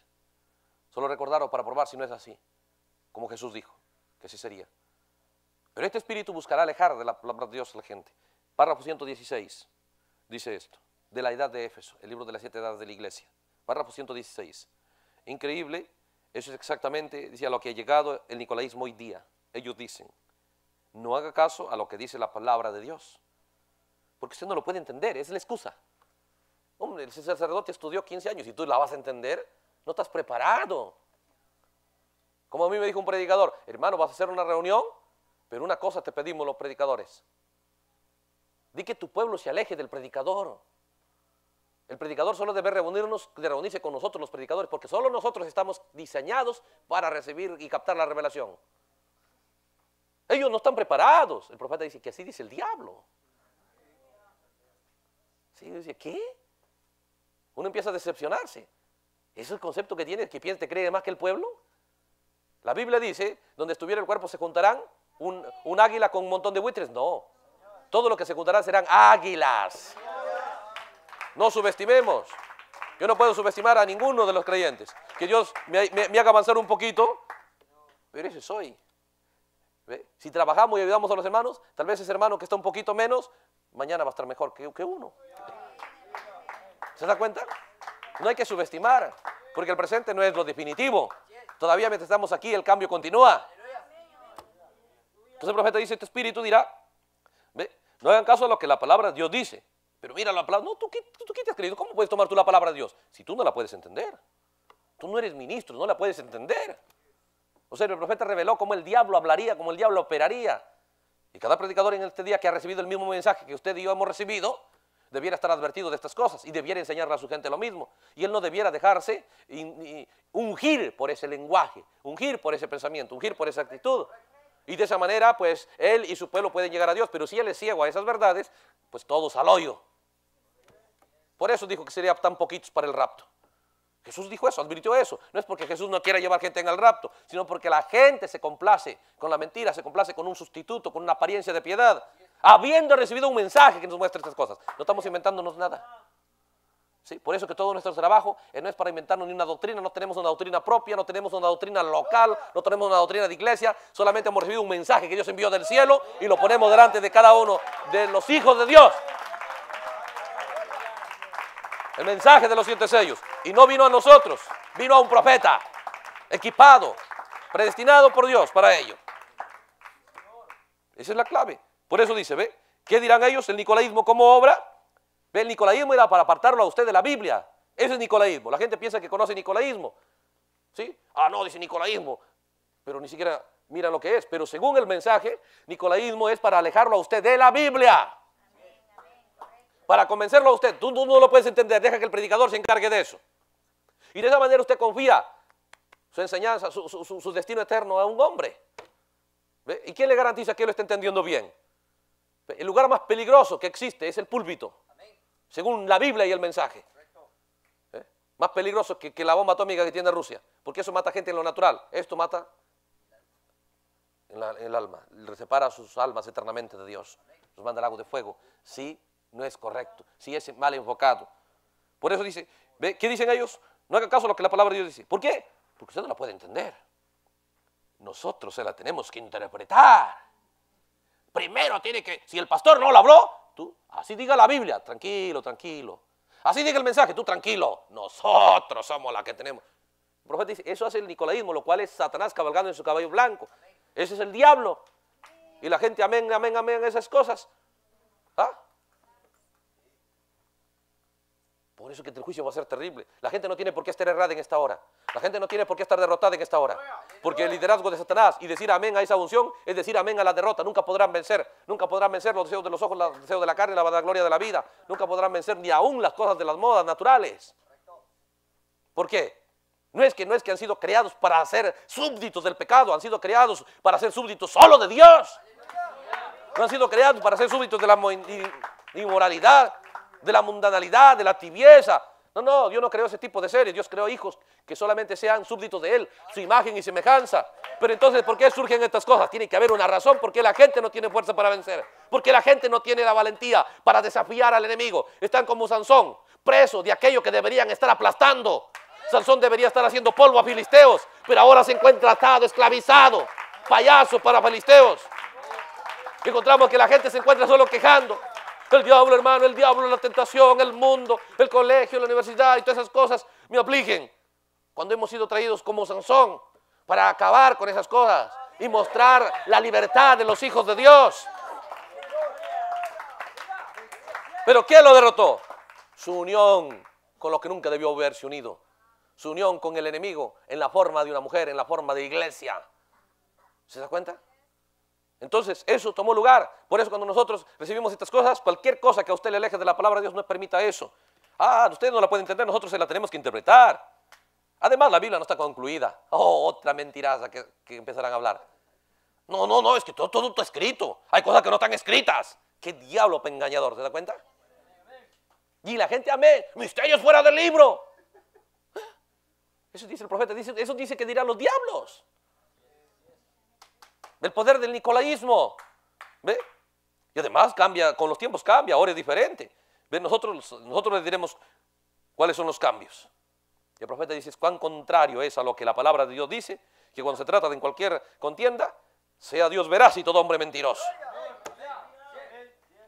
Pero ¿qué pasa? Dice, el pueblo está siendo guiado por líderes que se suponen ser lo que no son. Dicen que son vicarios de Cristo, pero más bien son anticristo. ¿Se da cuenta? Párrafo 141 de la edad de Pérgamo del 60. Estoy recordándole estas cosas porque conecta. Por eso le dije, pasamos al segundo sello, pero ¿ve cómo pasó? ¿Cómo tomó lugar? De esa manera podemos mirar estas cosas más claramente. ¿Por qué? Se baja, ya toma lugar, cumple con su objetivo, se despoja de su, caballo blanco, pasa a su caballo rojo. ¿Ve? La, edad de Pérgamo, predicado en, en el 60, las siete edades de la iglesia. Esto no es el libro de las siete edades, es la predicación, el sermón. Párrafo 141. Constantino usó, dice, la misma estrategia que usó Balaán. Tuvieron una junta después, estoy párrafo 141. Bueno, bueno, esperamos, no hay problema. Por eso hicimos estas cosas de, de no terminar el tema, porque no se puede terminar.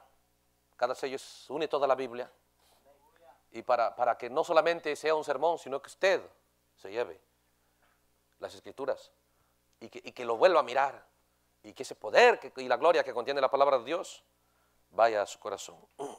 Aleluya.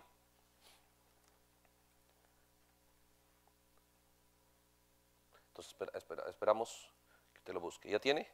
141. Muy bien. Entonces dice, ahora Constantino usó la misma estrategia que usó Balán. Tuvieron una junta después de la reunión del concilio Ve, allá Constantino, la misma estrategia de Balaán. Esta junta dice esta reunión del concilio que los obispos fueron puestos sobre las iglesias y demás para que la gobernaran. ¿Se da cuenta que un predicador no es para gobernar la iglesia? Un predicador es para enseñarle quién le debe gobernar a la iglesia.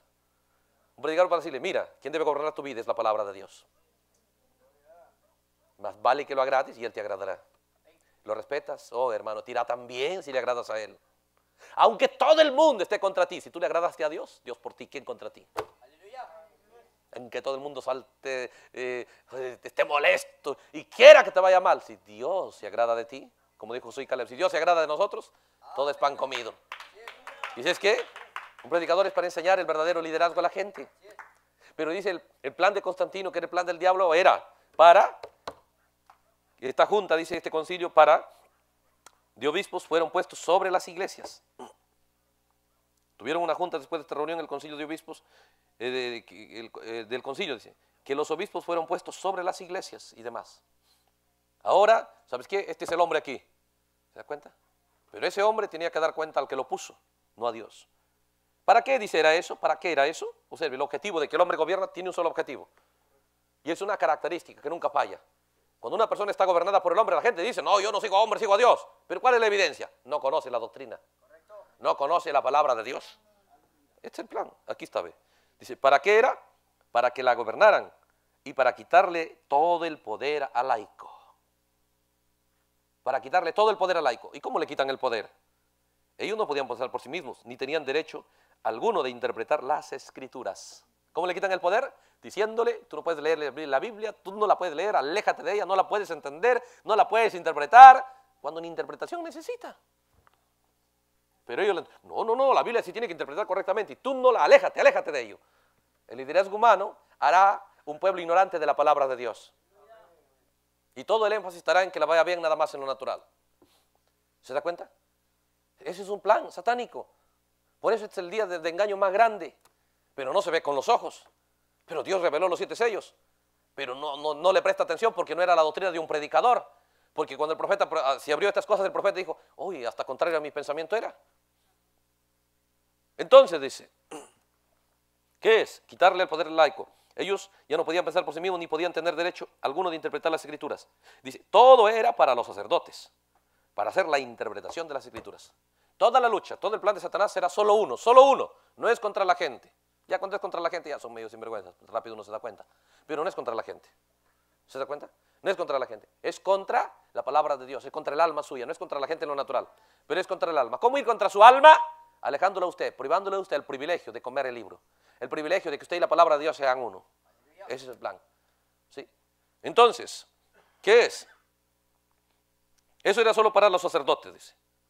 Finalmente, después de un tiempo, hicieron un sacerdote principal, un vicario, el cual era el Papa. Pero ahora ha llegado al punto donde afirman que todo el entendimiento le pertenece al sacerdote, al pastor aquí. La gente ya no, ya no usa sacerdote, usa pastor. ¿Sí? Pero el mismo, el mismo modelo, el mismo sistema, el mismo sistema. Dice, y la congregación no tiene que leer la Biblia. ¿Se da cuenta? La congregación no tiene que leer la Biblia. Ahora, pues hay algunos que, llegan al extremo, ¿no? Yo digo, tanto, el diablo está desesperado que hace cosas que ni él se da cuenta. Porque dice que, a veces predicadores diciéndole a la gente, ¿qué? ¿Y ustedes por qué están tan hambrientos leyendo la Biblia o el mensaje? ¿Acaso no les satisface lo que yo les predico? ¿Ah? ¿O dudan que les estoy diciendo la verdad? Tenga cuidado, cuidado con blasfemar, porque aquí habla solo el Espíritu Santo. ya, usted se da cuenta, ya, ya está, está de remate loco ya de la materia. O sea, desenmascarándose el mismo, ¿no? Que en realidad su deseo es no ver al pueblo con la palabra de Dios. Y, un espíritu que me quiera alejar de la Biblia y que todavía se llame cristiano, oh hermano.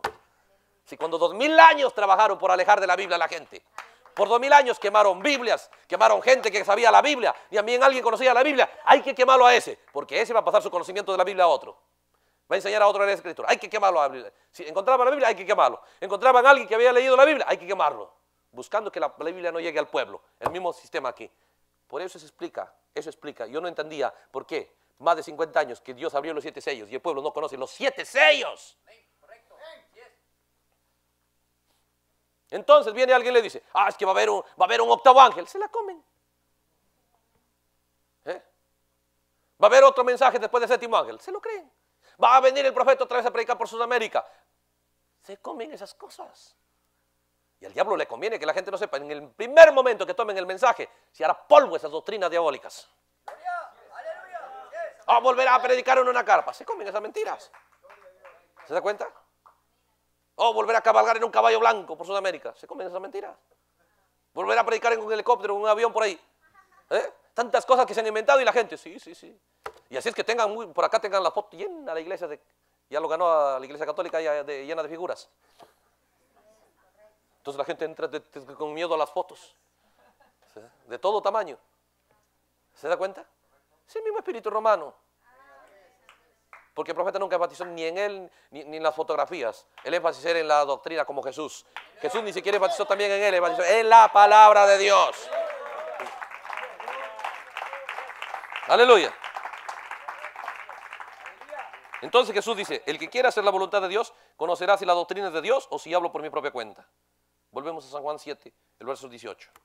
Porque el que habla por su propia cuenta, su propia gloria busca. Pero el que busca la gloria del que lo envió es verdadero y en él no hay injusticia. ¿Se da cuenta? El que habla por su propia cuenta, el que empieza, hermano, el que el Señor me lo ha revelado a mí. ¿Se da cuenta? Esto está de moda. Ay, tengo una palabra profética para ustedes. ¿Así eres profeta?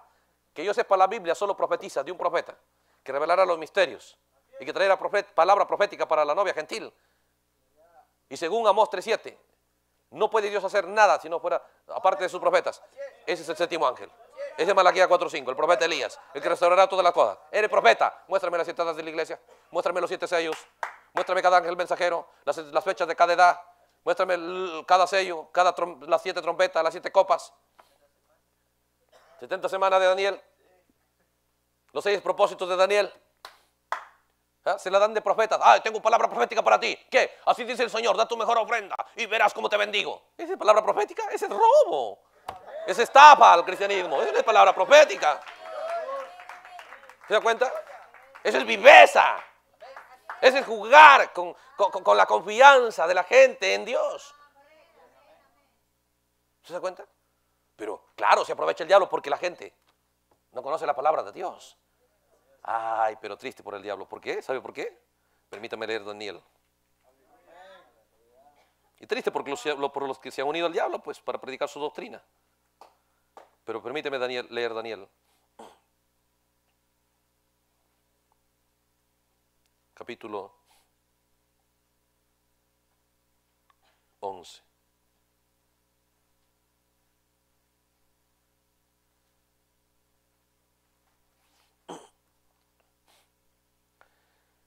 Verso 31. Dice, y se levantarán de su parte, Daniel 11, 31, y se levantarán de su parte tropas que profanarán el santuario y la fortaleza, profanarán el templo de Dios, profanarán su vida, en otras palabras.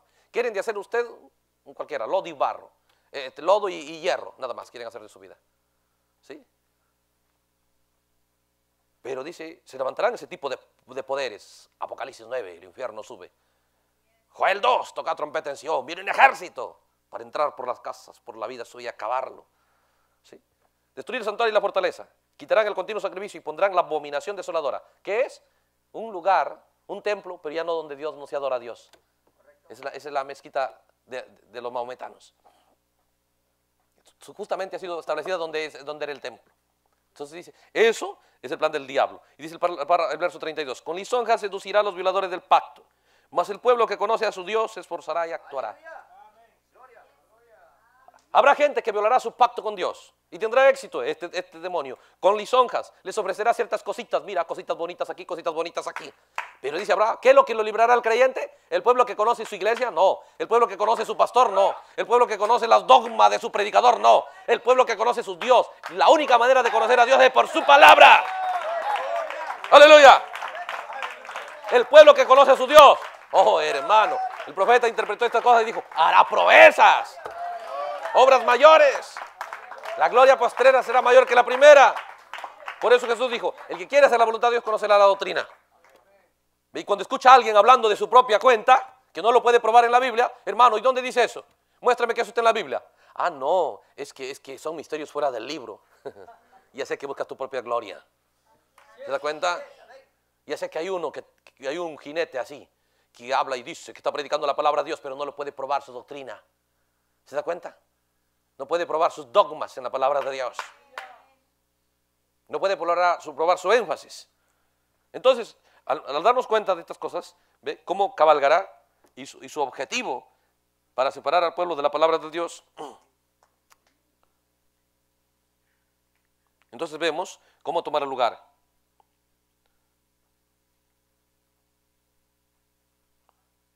Estábamos viendo aquí en el segundo sello, y el profeta nos dijo, miren, ahí está en Tesalonicenses, capítulo 2, y leímos eso. Entonces el párrafo 268.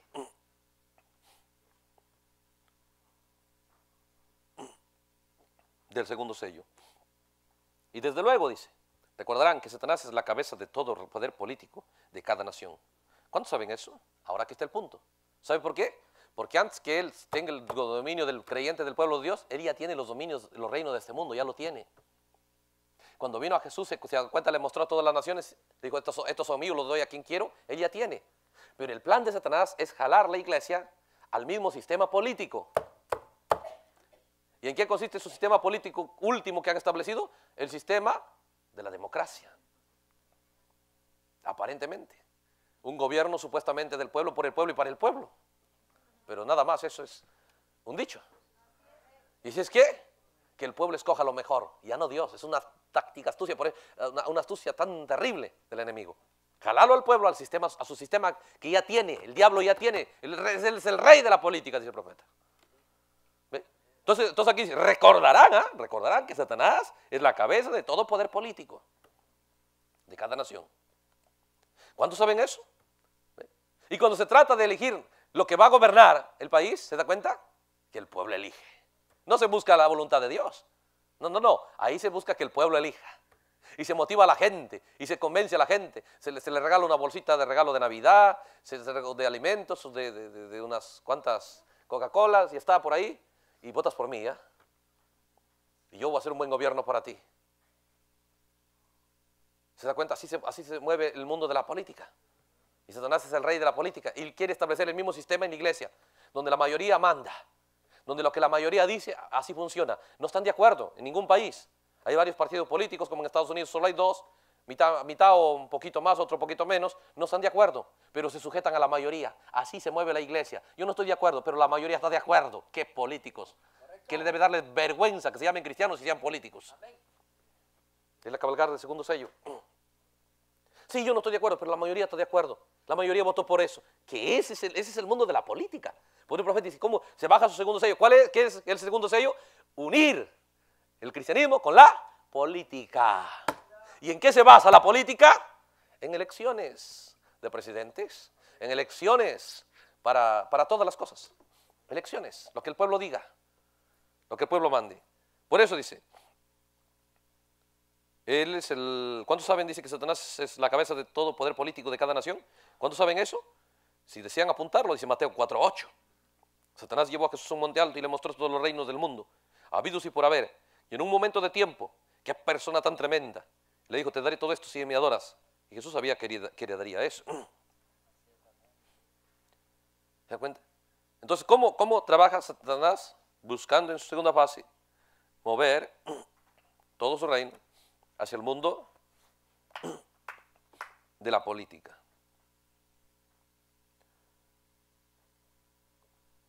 Vamos a avanzar un poquito.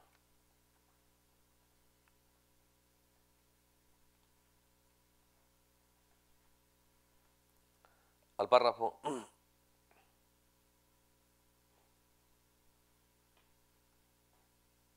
Vamos a volver al párrafo 281. Vamos a avanzar ahí. ¿No es algo raro? ¿No es algo raro? Está abriendo el segundo sello. Le fue dada esta espada para matarse unos a otros. Es el mundo de la política. Se da cuenta que, eh, eh, observe, es el mismo, es el mismo líder. El mismo líder de, Perú, el mismo líder de Chile, el mismo líder. La gente dice que, pero él les convence, él les convence a la gente, el mismo líder. Pero cuando Satanás gobierna, le convence. ¿Ve? Ustedes son chilenos, ustedes son argentinos, Ustedes son peruanos, pero es el mismo líder. Les hace creer que son independientes, les hace creer. ¿O no? Así, es el mundo, de, así, se mueve. ¿Te das cuenta? Tú eres ecuatoriano, pero es el mismo líder. Tú, tienes tu propio, tu presidente es ecuatoriano, ¿sí? Tu presidente es chileno, ¿sí no? Tu presidente es argentino, tu presidente es peruano, tu presidente es brasileño y así. Pero eso es solo una mentira. Porque el real gobernante es el mismo personaje. Y para convencerlos que son diferentes, nos hace pelear entre ellos. Que tienen que reunirse para tener acuerdos y todo por decir que ni se dan cuenta que tienen el mismo jefe. Ni se dan cuenta que tienen el mismo líder. Cuando él entra a la iglesia también le dice, él busca al presidente, al presidente de la iglesia, porque lo eligió el hombre, por eso es un presidente. Porque si lo eligiera a Dios, sería un pastor. ¿Sí? Pero al presidente de la iglesia, que lo elige la iglesia, su presidente, va y le dice, tú eres, tú eres el máximo aquí en esta iglesia local.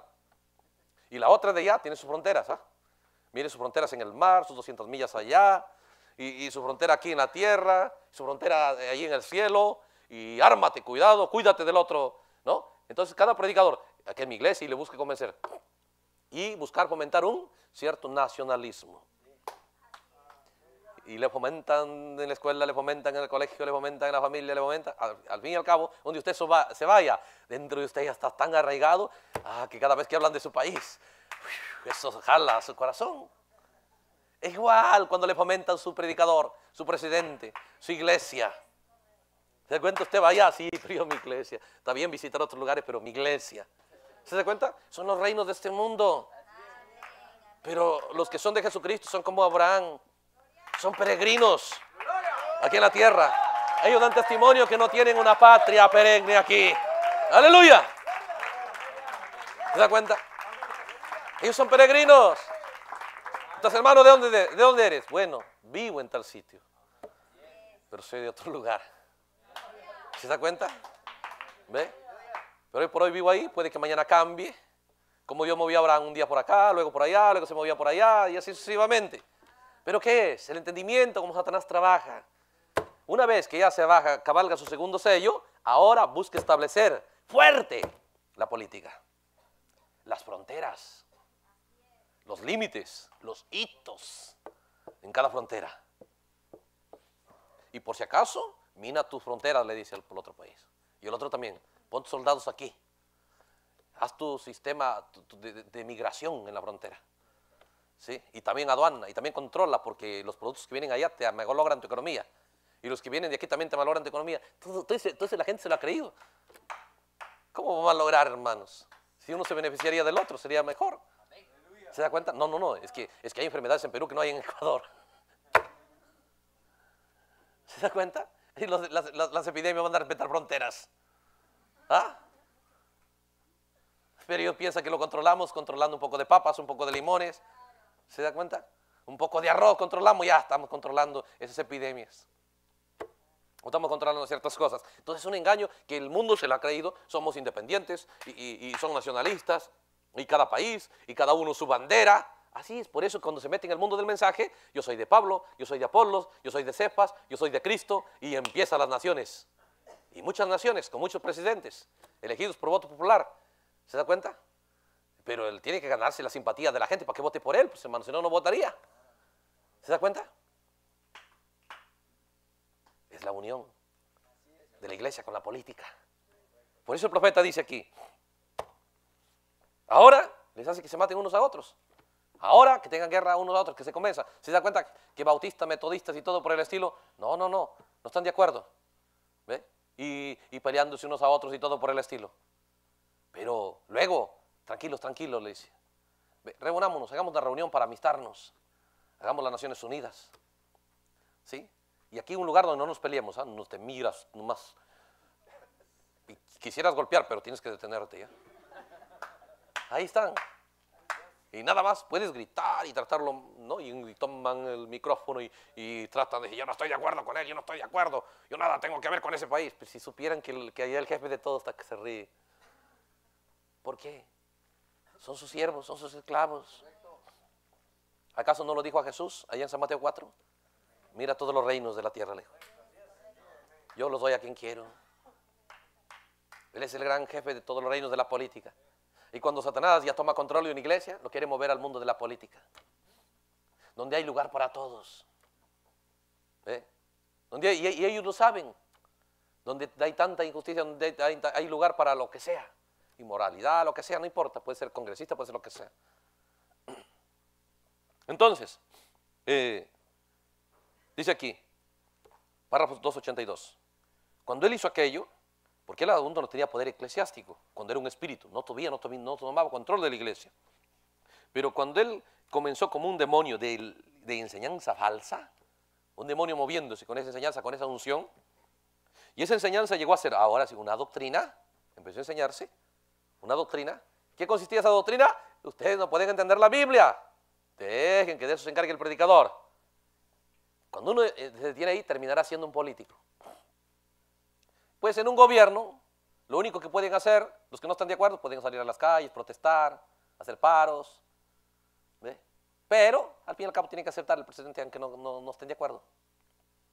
Así es una iglesia cuando Satanás está cabalgando ya, en sus, ya bajándose de su caballo blanco. Ahora la iglesia ya está dividida. Ya hay unos que están de acuerdo y otros que no están de acuerdo. Y tal vez empiecen con dos partidos, como Estados Unidos, republicanos y demócratas, porque eran como cristianos, republicanos y demócratas. ¿Sí? Como en Israel, dos reinos. El reino de las diez tribus y el reino de las dos tribus. Como la edad de Éfeso. ¿Se da cuenta? El, el Espíritu Santo y el Espíritu Anticristo. La vida falsa y la verdadera. Unos de acuerdo y unos no de acuerdo. ¿Pero qué? Mayoría manda. Mayoría manda. La única manera, buscando, buscar, hablando, hablando al otro, hablando al otro, para darle golpe de Estado y el otro ya sabe, tiene su ejército y todo para cuidarse, sus servicios de inteligencia, vigilando por ahí, los diáconos haciendo de servicios de inteligencia, buscando a ver que no, cuidando al presidente, que no lo vayan a dar golpe de Estado. Cuando alguien por ahí está hablando la palabra, oye, ¿qué? ¿Eres predicador? No, no, no, ¿quieres quitarle puesto al pastor? ¿Se da cuenta? Hermanos, esto parece sencillo, pero recuerde, el Cordero está abriendo estas cosas aquí en el primer, en el primer sello y en el segundo sello. Está mostrando que es la unión de la iglesia con la política. Poderes políticos. La forma política se establece en la iglesia. Que ahora ya no importa. Por eso, piénselo. A un predicador le dijeron, mira, mira. El profeta dice, le mostraron el libro de... Fue el mensaje de casamiento y divorcio.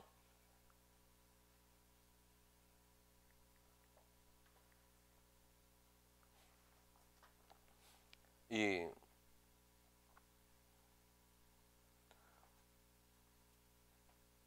Y demostraron, bueno, entonces el pastor trabajó, se ganó la simpatía de la gente bastante. Y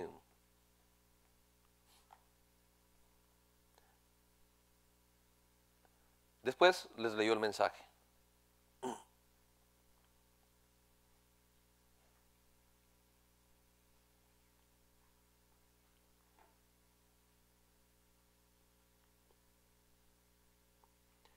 Les leyó un mensaje de, casamiento y divorcio. Voy a leer nada más el párrafo 253.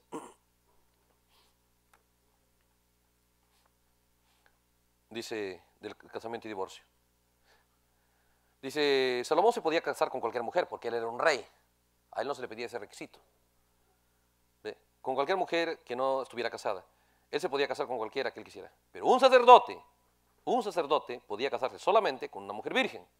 Nada más. Entonces, bueno, a este pastor le dijeron, hermano, pero su esposa ha tenido hijos de otro. Usted no ha sido, ella no ha sido, usted no ha sido su, su primer esposo. Y usted también. ¿No? Alguien lo reclamó, entonces fue a la iglesia, miren, le dijo, así dice el mensaje. O sea, según esto yo no podría ser pastor. ¿Ustedes qué dicen, hermanos? Pero pastor, tantos años que está con nosotros. Sí, porque también el profeta dice que la iglesia decide. Sí, el profeta dijo, la iglesia escoge, si es política. La iglesia escoge, la iglesia manda. Pero si es la de Dios, si uno es redimido, ¿ve? Después le muestro eso. Entonces dijo, bueno, pastor, entonces usted, ¿qué, ¿me quedo entonces? Sí, pastor, siga, ya, listo. Y ahí están. ¿Se da cuenta? Ahí están. ¿Por qué? Ahora, cuando Satanás se baja y cabalga su caballo rojo, ya no vale la palabra de Dios. De ahí en adelante vale lo que la iglesia dice. Y el pastor se encarga de que lo que la iglesia diga sea lo que a él lo establezca. Porque el profeta dice acá que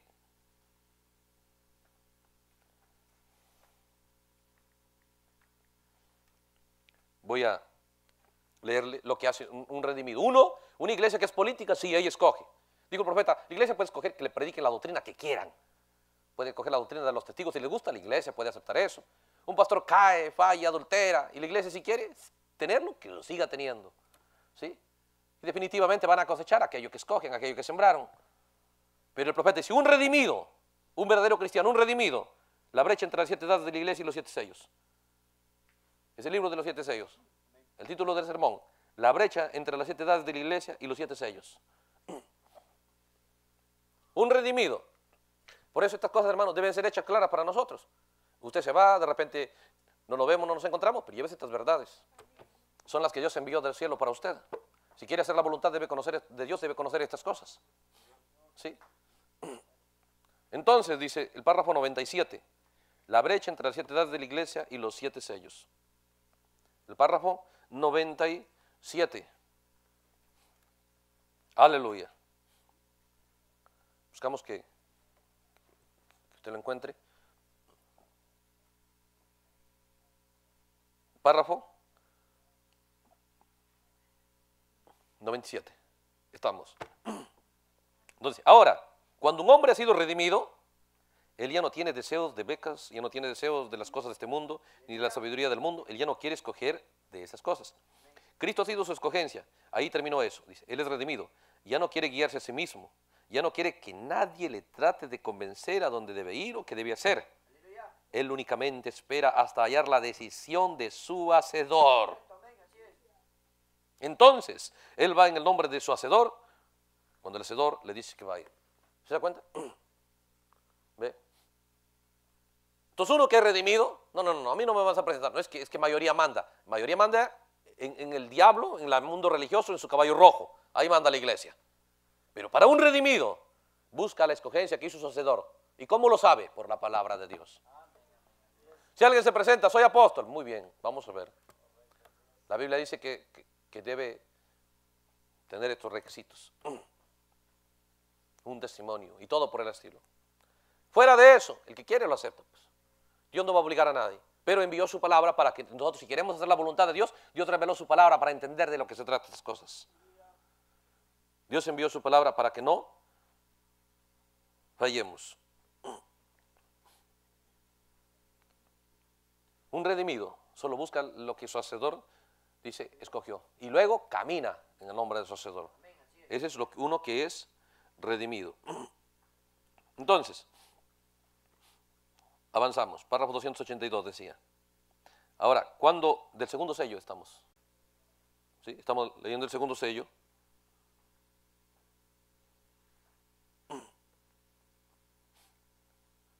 El párrafo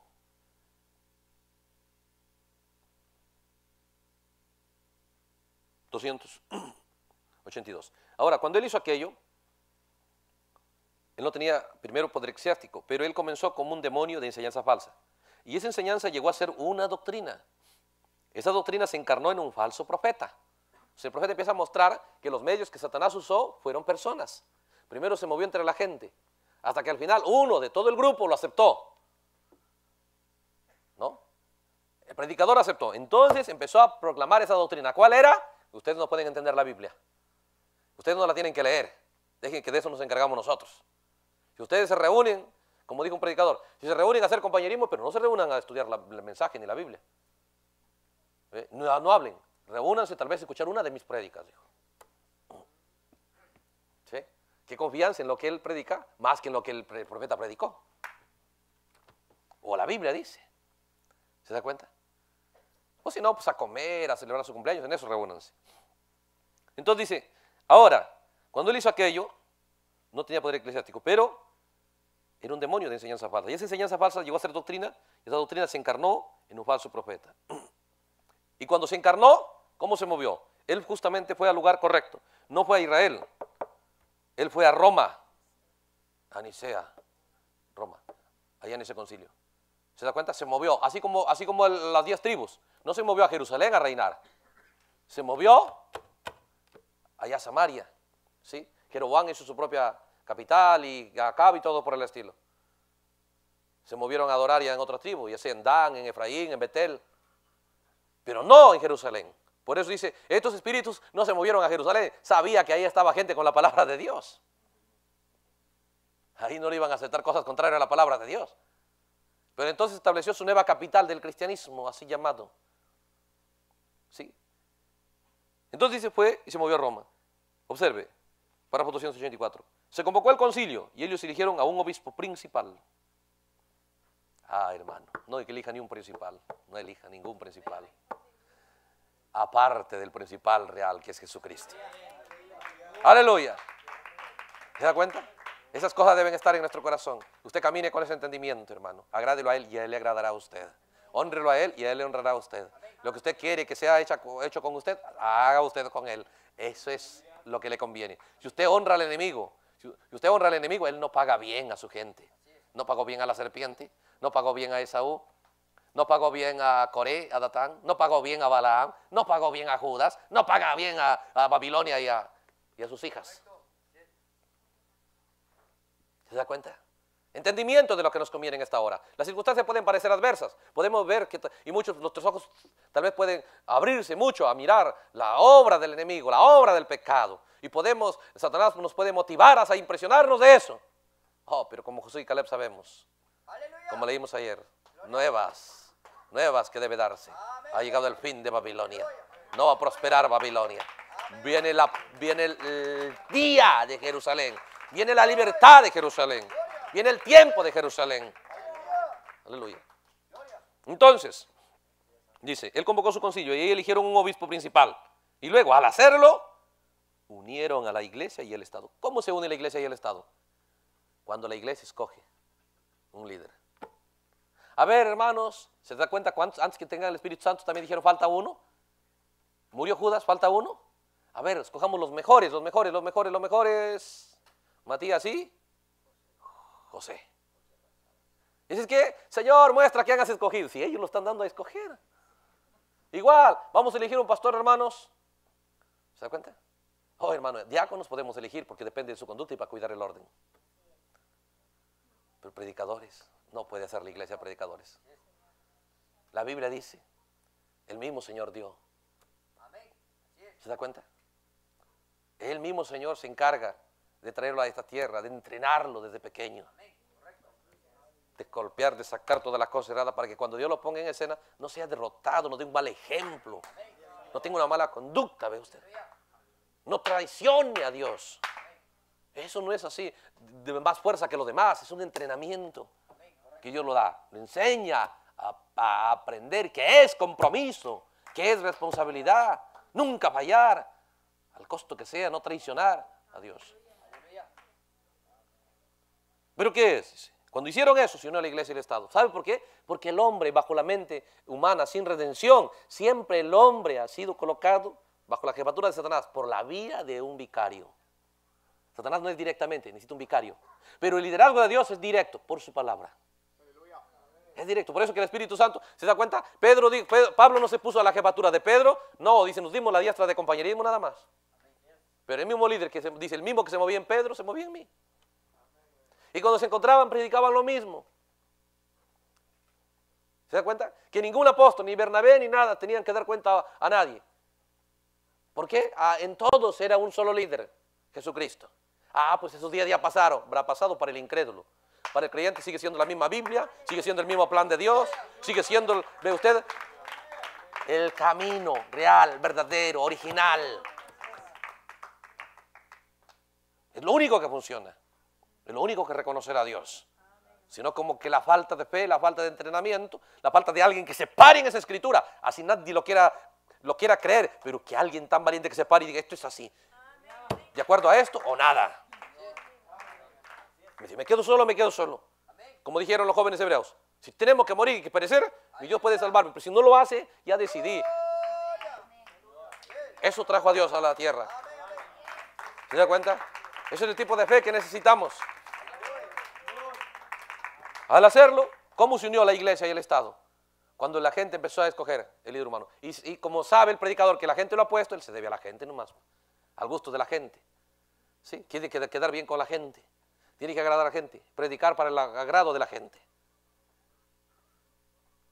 Pero Pablo dijo, si predicara para buscar agradar a hombres, no saca de ser siervo de Cristo. Entonces, dice aquí, al hacerlo, al elegir un obispo principal, entonces al hacerlo unieron a la iglesia y el Estado. Entonces él dejó caer su arco, se bajó de su caballo blanco, se montó sobre su caballo bermejo, ahora sí puede matar a cualquiera que no estuviera de acuerdo con él. Una vez que lo elige, y una vez que ya toma la posición, él entra humildecito como Saúl. Cuando el pueblo elige, ¿cómo es? Así como Saúl. Cuando, cuando lo querían elegir, no hermanos, yo no tengo don, Dios no me ha llamado. Yo soy ignorante, hermano. No, no, no, no, me escondo mejor, dijo Saúl. Se puso por ahí unas hierbas encima y estaba escondido. Y el policía, ¿dónde está, Señor? Revelanos nuestro rey, el que queremos, lo queremos. Yo dijo, está bien, está allá. No era el plan de Dios, pero el pueblo deseaba. Dijo, ustedes en tal sitio, vayan a buscarlo. Se fueron, lo trajeron. Pero una vez que el pueblo lo eligió, ahora sí. Ahí el que no está de acuerdo conmigo lo mato, dijo. Una vez que el pastor se pone y que empieza humildecito, ahora aquí mando yo. Aquí yo soy el ángel, aquí yo soy la voz. Todo lo que es Cristo, aquí soy yo. Uy, hermano, uno se asusta escuchar esas cosas. Dios mío, ¿qué está, está hablando ese? ¿Se da cuenta? Aquí soy el ungido. Lo que tú quieras. ¿Quieres algo? Cualquier cosa que te pase. No lo mandan a la Biblia. Ven, ven, ven para acá. O las manos. Y todos los demonios que están en el hombre pasan a la persona. Y luego la persona dice, ¿qué me ha pasado si el pastor oró por mí? Justo ese es el problema. Porque, hermano, está tan endemoniado para creerse el jefe de la iglesia y todos esos demonios pasan a la persona y luego pierde su paz, entra en desesperación. Uno no tiene que dejarse poner las manos de cualquiera. Y tampoco puede imponer las manos a cualquiera. Como dijo Pablo, no impongas las manos con ligereza. A Timoteo. ¿Qué es? Dejó caer su arco. Ahora sí. Montó su caballo bermejo y puede matar a cualquiera que no estuviera de acuerdo con él. Ahí está el sello. Ese es el sello, dice. ¿Qué es el sello, el, segundo sello? ¿Cómo se desenvuelve? Cuando usted vea que la iglesia elige un pastor, todo humildecito empieza.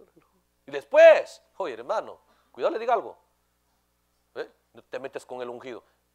Rápidamente hay que sembrar miedo a la gente. De repente por ahí un hermano, hoy me enteré que tal vez se tropezó, sacó la uña, listo. Mire, hermano, eh, eh, la vez pasada yo le dije y no me hizo caso. Y, mira, yo lo castigó y le sacó la uña. Y mira al otro, le dije, sí, sí o no, lo que te pasó. Por no hacerme caso, sí, pastor. Y dices, ¿qué? Ya saben a quién tienen que hacer caso porque van a ver que los juicios de Dios les cae. Empieza a sembrar miedo, obediencia absoluta. Ese es el mundo de la política. Hay que usar el ejército ahora. ¿No quieren hacer caso? El ejército, la policía, las leyes. Ya no te puedes revelar. Ahora no es cualquiera, ahora ya tiene un título de presidente. Ahora ya no le puedes decir, oye, fulano. No, no, no, señor presidente. Hey, hermano. ¿Qué, qué hermano? Pastor. Apóstol. ¿Se da cuenta? Esas cosas parecen, hermano, sencillo. No parece lograr del enemigo. Pero estamos mirando en el sello. Ese es el sello. Así se abre. Ese es lo que Dios revela, es lo que se esconde tan sutil, por eso que no nos damos cuenta. Y cuando es Satanás liderando una iglesia, ¿se da cuenta? La gente por eso no puede tener compañerismo.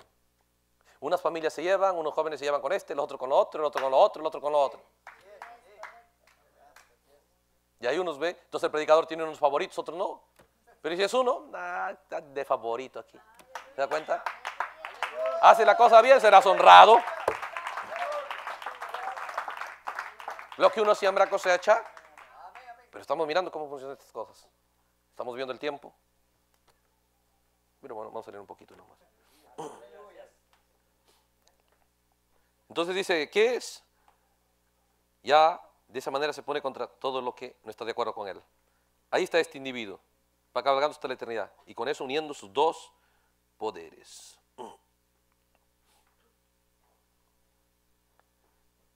¿Cómo de ahí en adelante se fomenta? ¿Cómo es su característica de esa iglesia donde ya entra Satanás cabalgando ya su segundo sello? Eh? ¿Cómo es? ¿Cómo se mueve? ¿Cómo sería la actitud de esa iglesia? Voy a leer, aquí nos quedamos, en el párrafo 285 vamos a leerlo.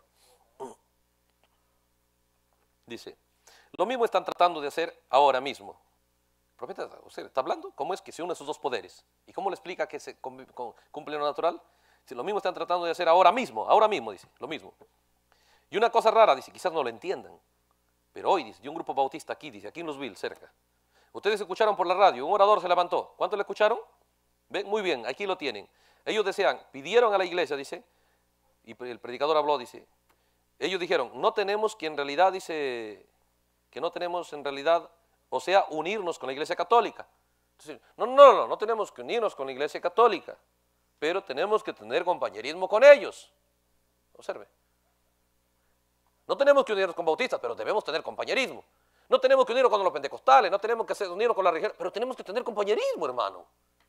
Miren, el profeta dice, está hablando cómo Satanás une sus poderes. Y no tenemos que unirnos con ellos, pero debemos tener compañerismo.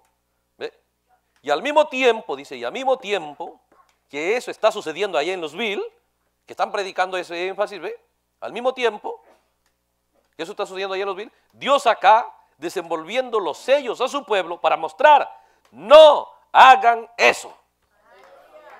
No hagan eso. Lo que nos debe unir debe ser la palabra de Dios. No un compañerismo fuera de la palabra de Dios. ¿Se da cuenta? No hagan eso. ¿Pero qué? Dice, están cabalgando los dos poderes. ¿Ven los dos obrando? ¿Ven? Recuerden la paloma y el cuervo posaban sobre el mismo palo, sobre el mismo arca, seguramente. Recuerden. ¿Se da cuenta? Entonces una iglesia, una vez que ya gobierna Satanás, ahora ya buscando entrar en su caballo rojo, a manifestándose lo que él es, diga adelante, para mantener su poder, eh, se da cuenta por eso hoy que es eh, la globalización. Dice, ninguna nación se puede aislar ya. Ninguna nación puede subsistir sola. Tiene que estar en el mundo de la globalización. Porque si lo bloqueamos, no pueden sobrevivir. Si les ponemos sanciones, si, no está, si, nos desagrada la mayoría, votamos en contra. ¿Qué es? Es espíritu político. Ahora juntémonos con aquellos que nos conviene. Aquí es una iglesia grande. Si hacemos un culto, una campaña, y podemos mandar los videos, y podemos mirar cuánta gente ha en esta reunión. Pero no tenemos que unirnos a ellos, no tenemos que creer lo mismo, solamente por compañerismo. Ahora, ahora nada más lo que se busca es compañerismo, no unidad verdadera. Y no ceder su doctrina ni cambiar sus conceptos, solamente compañerismo. Es el énfasis de Satanás cuando gobierna una iglesia. Cuando ahora empieza a cabalgar su segundo sello. Con, con el objetivo de llevar el alma de la gente hacia el lago de fuego. Vamos a parar ahí. Vamos a parar ahí. Si Dios permite, continuamos mañana. ¿Se da cuenta? Vamos a dar gracias, Señor. Que Dios lo bendiga a todos. Aleluya. Recuerda, estamos leyéndole eso en el mensaje. ¿Ve? Estamos mostrándolo en la Biblia. Ah, hermano, llévese esos recursos, vuelva a trabajar en ellos. Reciba, come el libro. Es bueno el libro, ¿sí o no? Por eso, como dijimos, vamos a ver cosas que nunca hemos estado acostumbrados a verlo así. Que además era bonito, ¿no? Juntémonos una convención una vez al año, hagamos nuestro aniversario, invitemos a todos, como no tenemos que creer lo mismo que ellos. Nada más es una convención, normal. Y el profeta dice, ese es el diablo uniendo sus dos poderes, política. No estamos de acuerdo, pero debemos obrar juntos, debemos trabajar juntos. Ya ganaste tú la presidencia, ahora hagamos pacto para gobernar, porque yo también tengo ciertos votos. ¿Se da cuenta? Y son uniones, pero nunca están de acuerdo, pero hayan beneficios. Igual, entonces el beneficio nada más es natural, pero no es un beneficio con su alma, no es un beneficio con, con su fe, no es un beneficio con su compañerismo con Dios. Pero eso es lo que debemos buscar. Vamos a dar gracias, Señor. Dios Todopoderoso, queremos agradecerte, Señor, por la gloria que tu palabra tiene, Señor, para este día, al ser abierta, Señor, por el séptimo ángel, por iluminar nuestro entendimiento, Señor. De verdad te agradecemos, porque realmente cuando nosotros vemos tu palabra, Señor, siendo enviada para este tiempo, para finalizar la plenitud del mundo gentil, su oportunidad que tuvieron, Señor, para tener acceso, Señor, hacia esa redención. El Evangelio a punto de volver ya, Señor, a Israel. De verdad, Señor, gracias y ayúdanos a acelerar en poder conocer tu palabra, en poder comer el libro. Y sabemos que eso le dará victoria, le dará una gran bendición, una gran real vida para cada uno de tus hijos y tus hijas, Señor. Y ese es nuestro anhelo. Cada uno disfrute. Hoy nos juntamos, mañana no sabemos, cada uno puede ir a sus lugares de peregrinaje, Señor. Pero al conocer estas verdades de tu palabra y al operar en ello, honrándote a ti, oh Dios, tú podrás honrarlos también. Y es una alegría ver que nuestros hermanos disfruten su comunión y su compañerismo, su unidad y su relación contigo, Señor. En el nombre de Jesucristo, gracias por todo, Señor. Amén.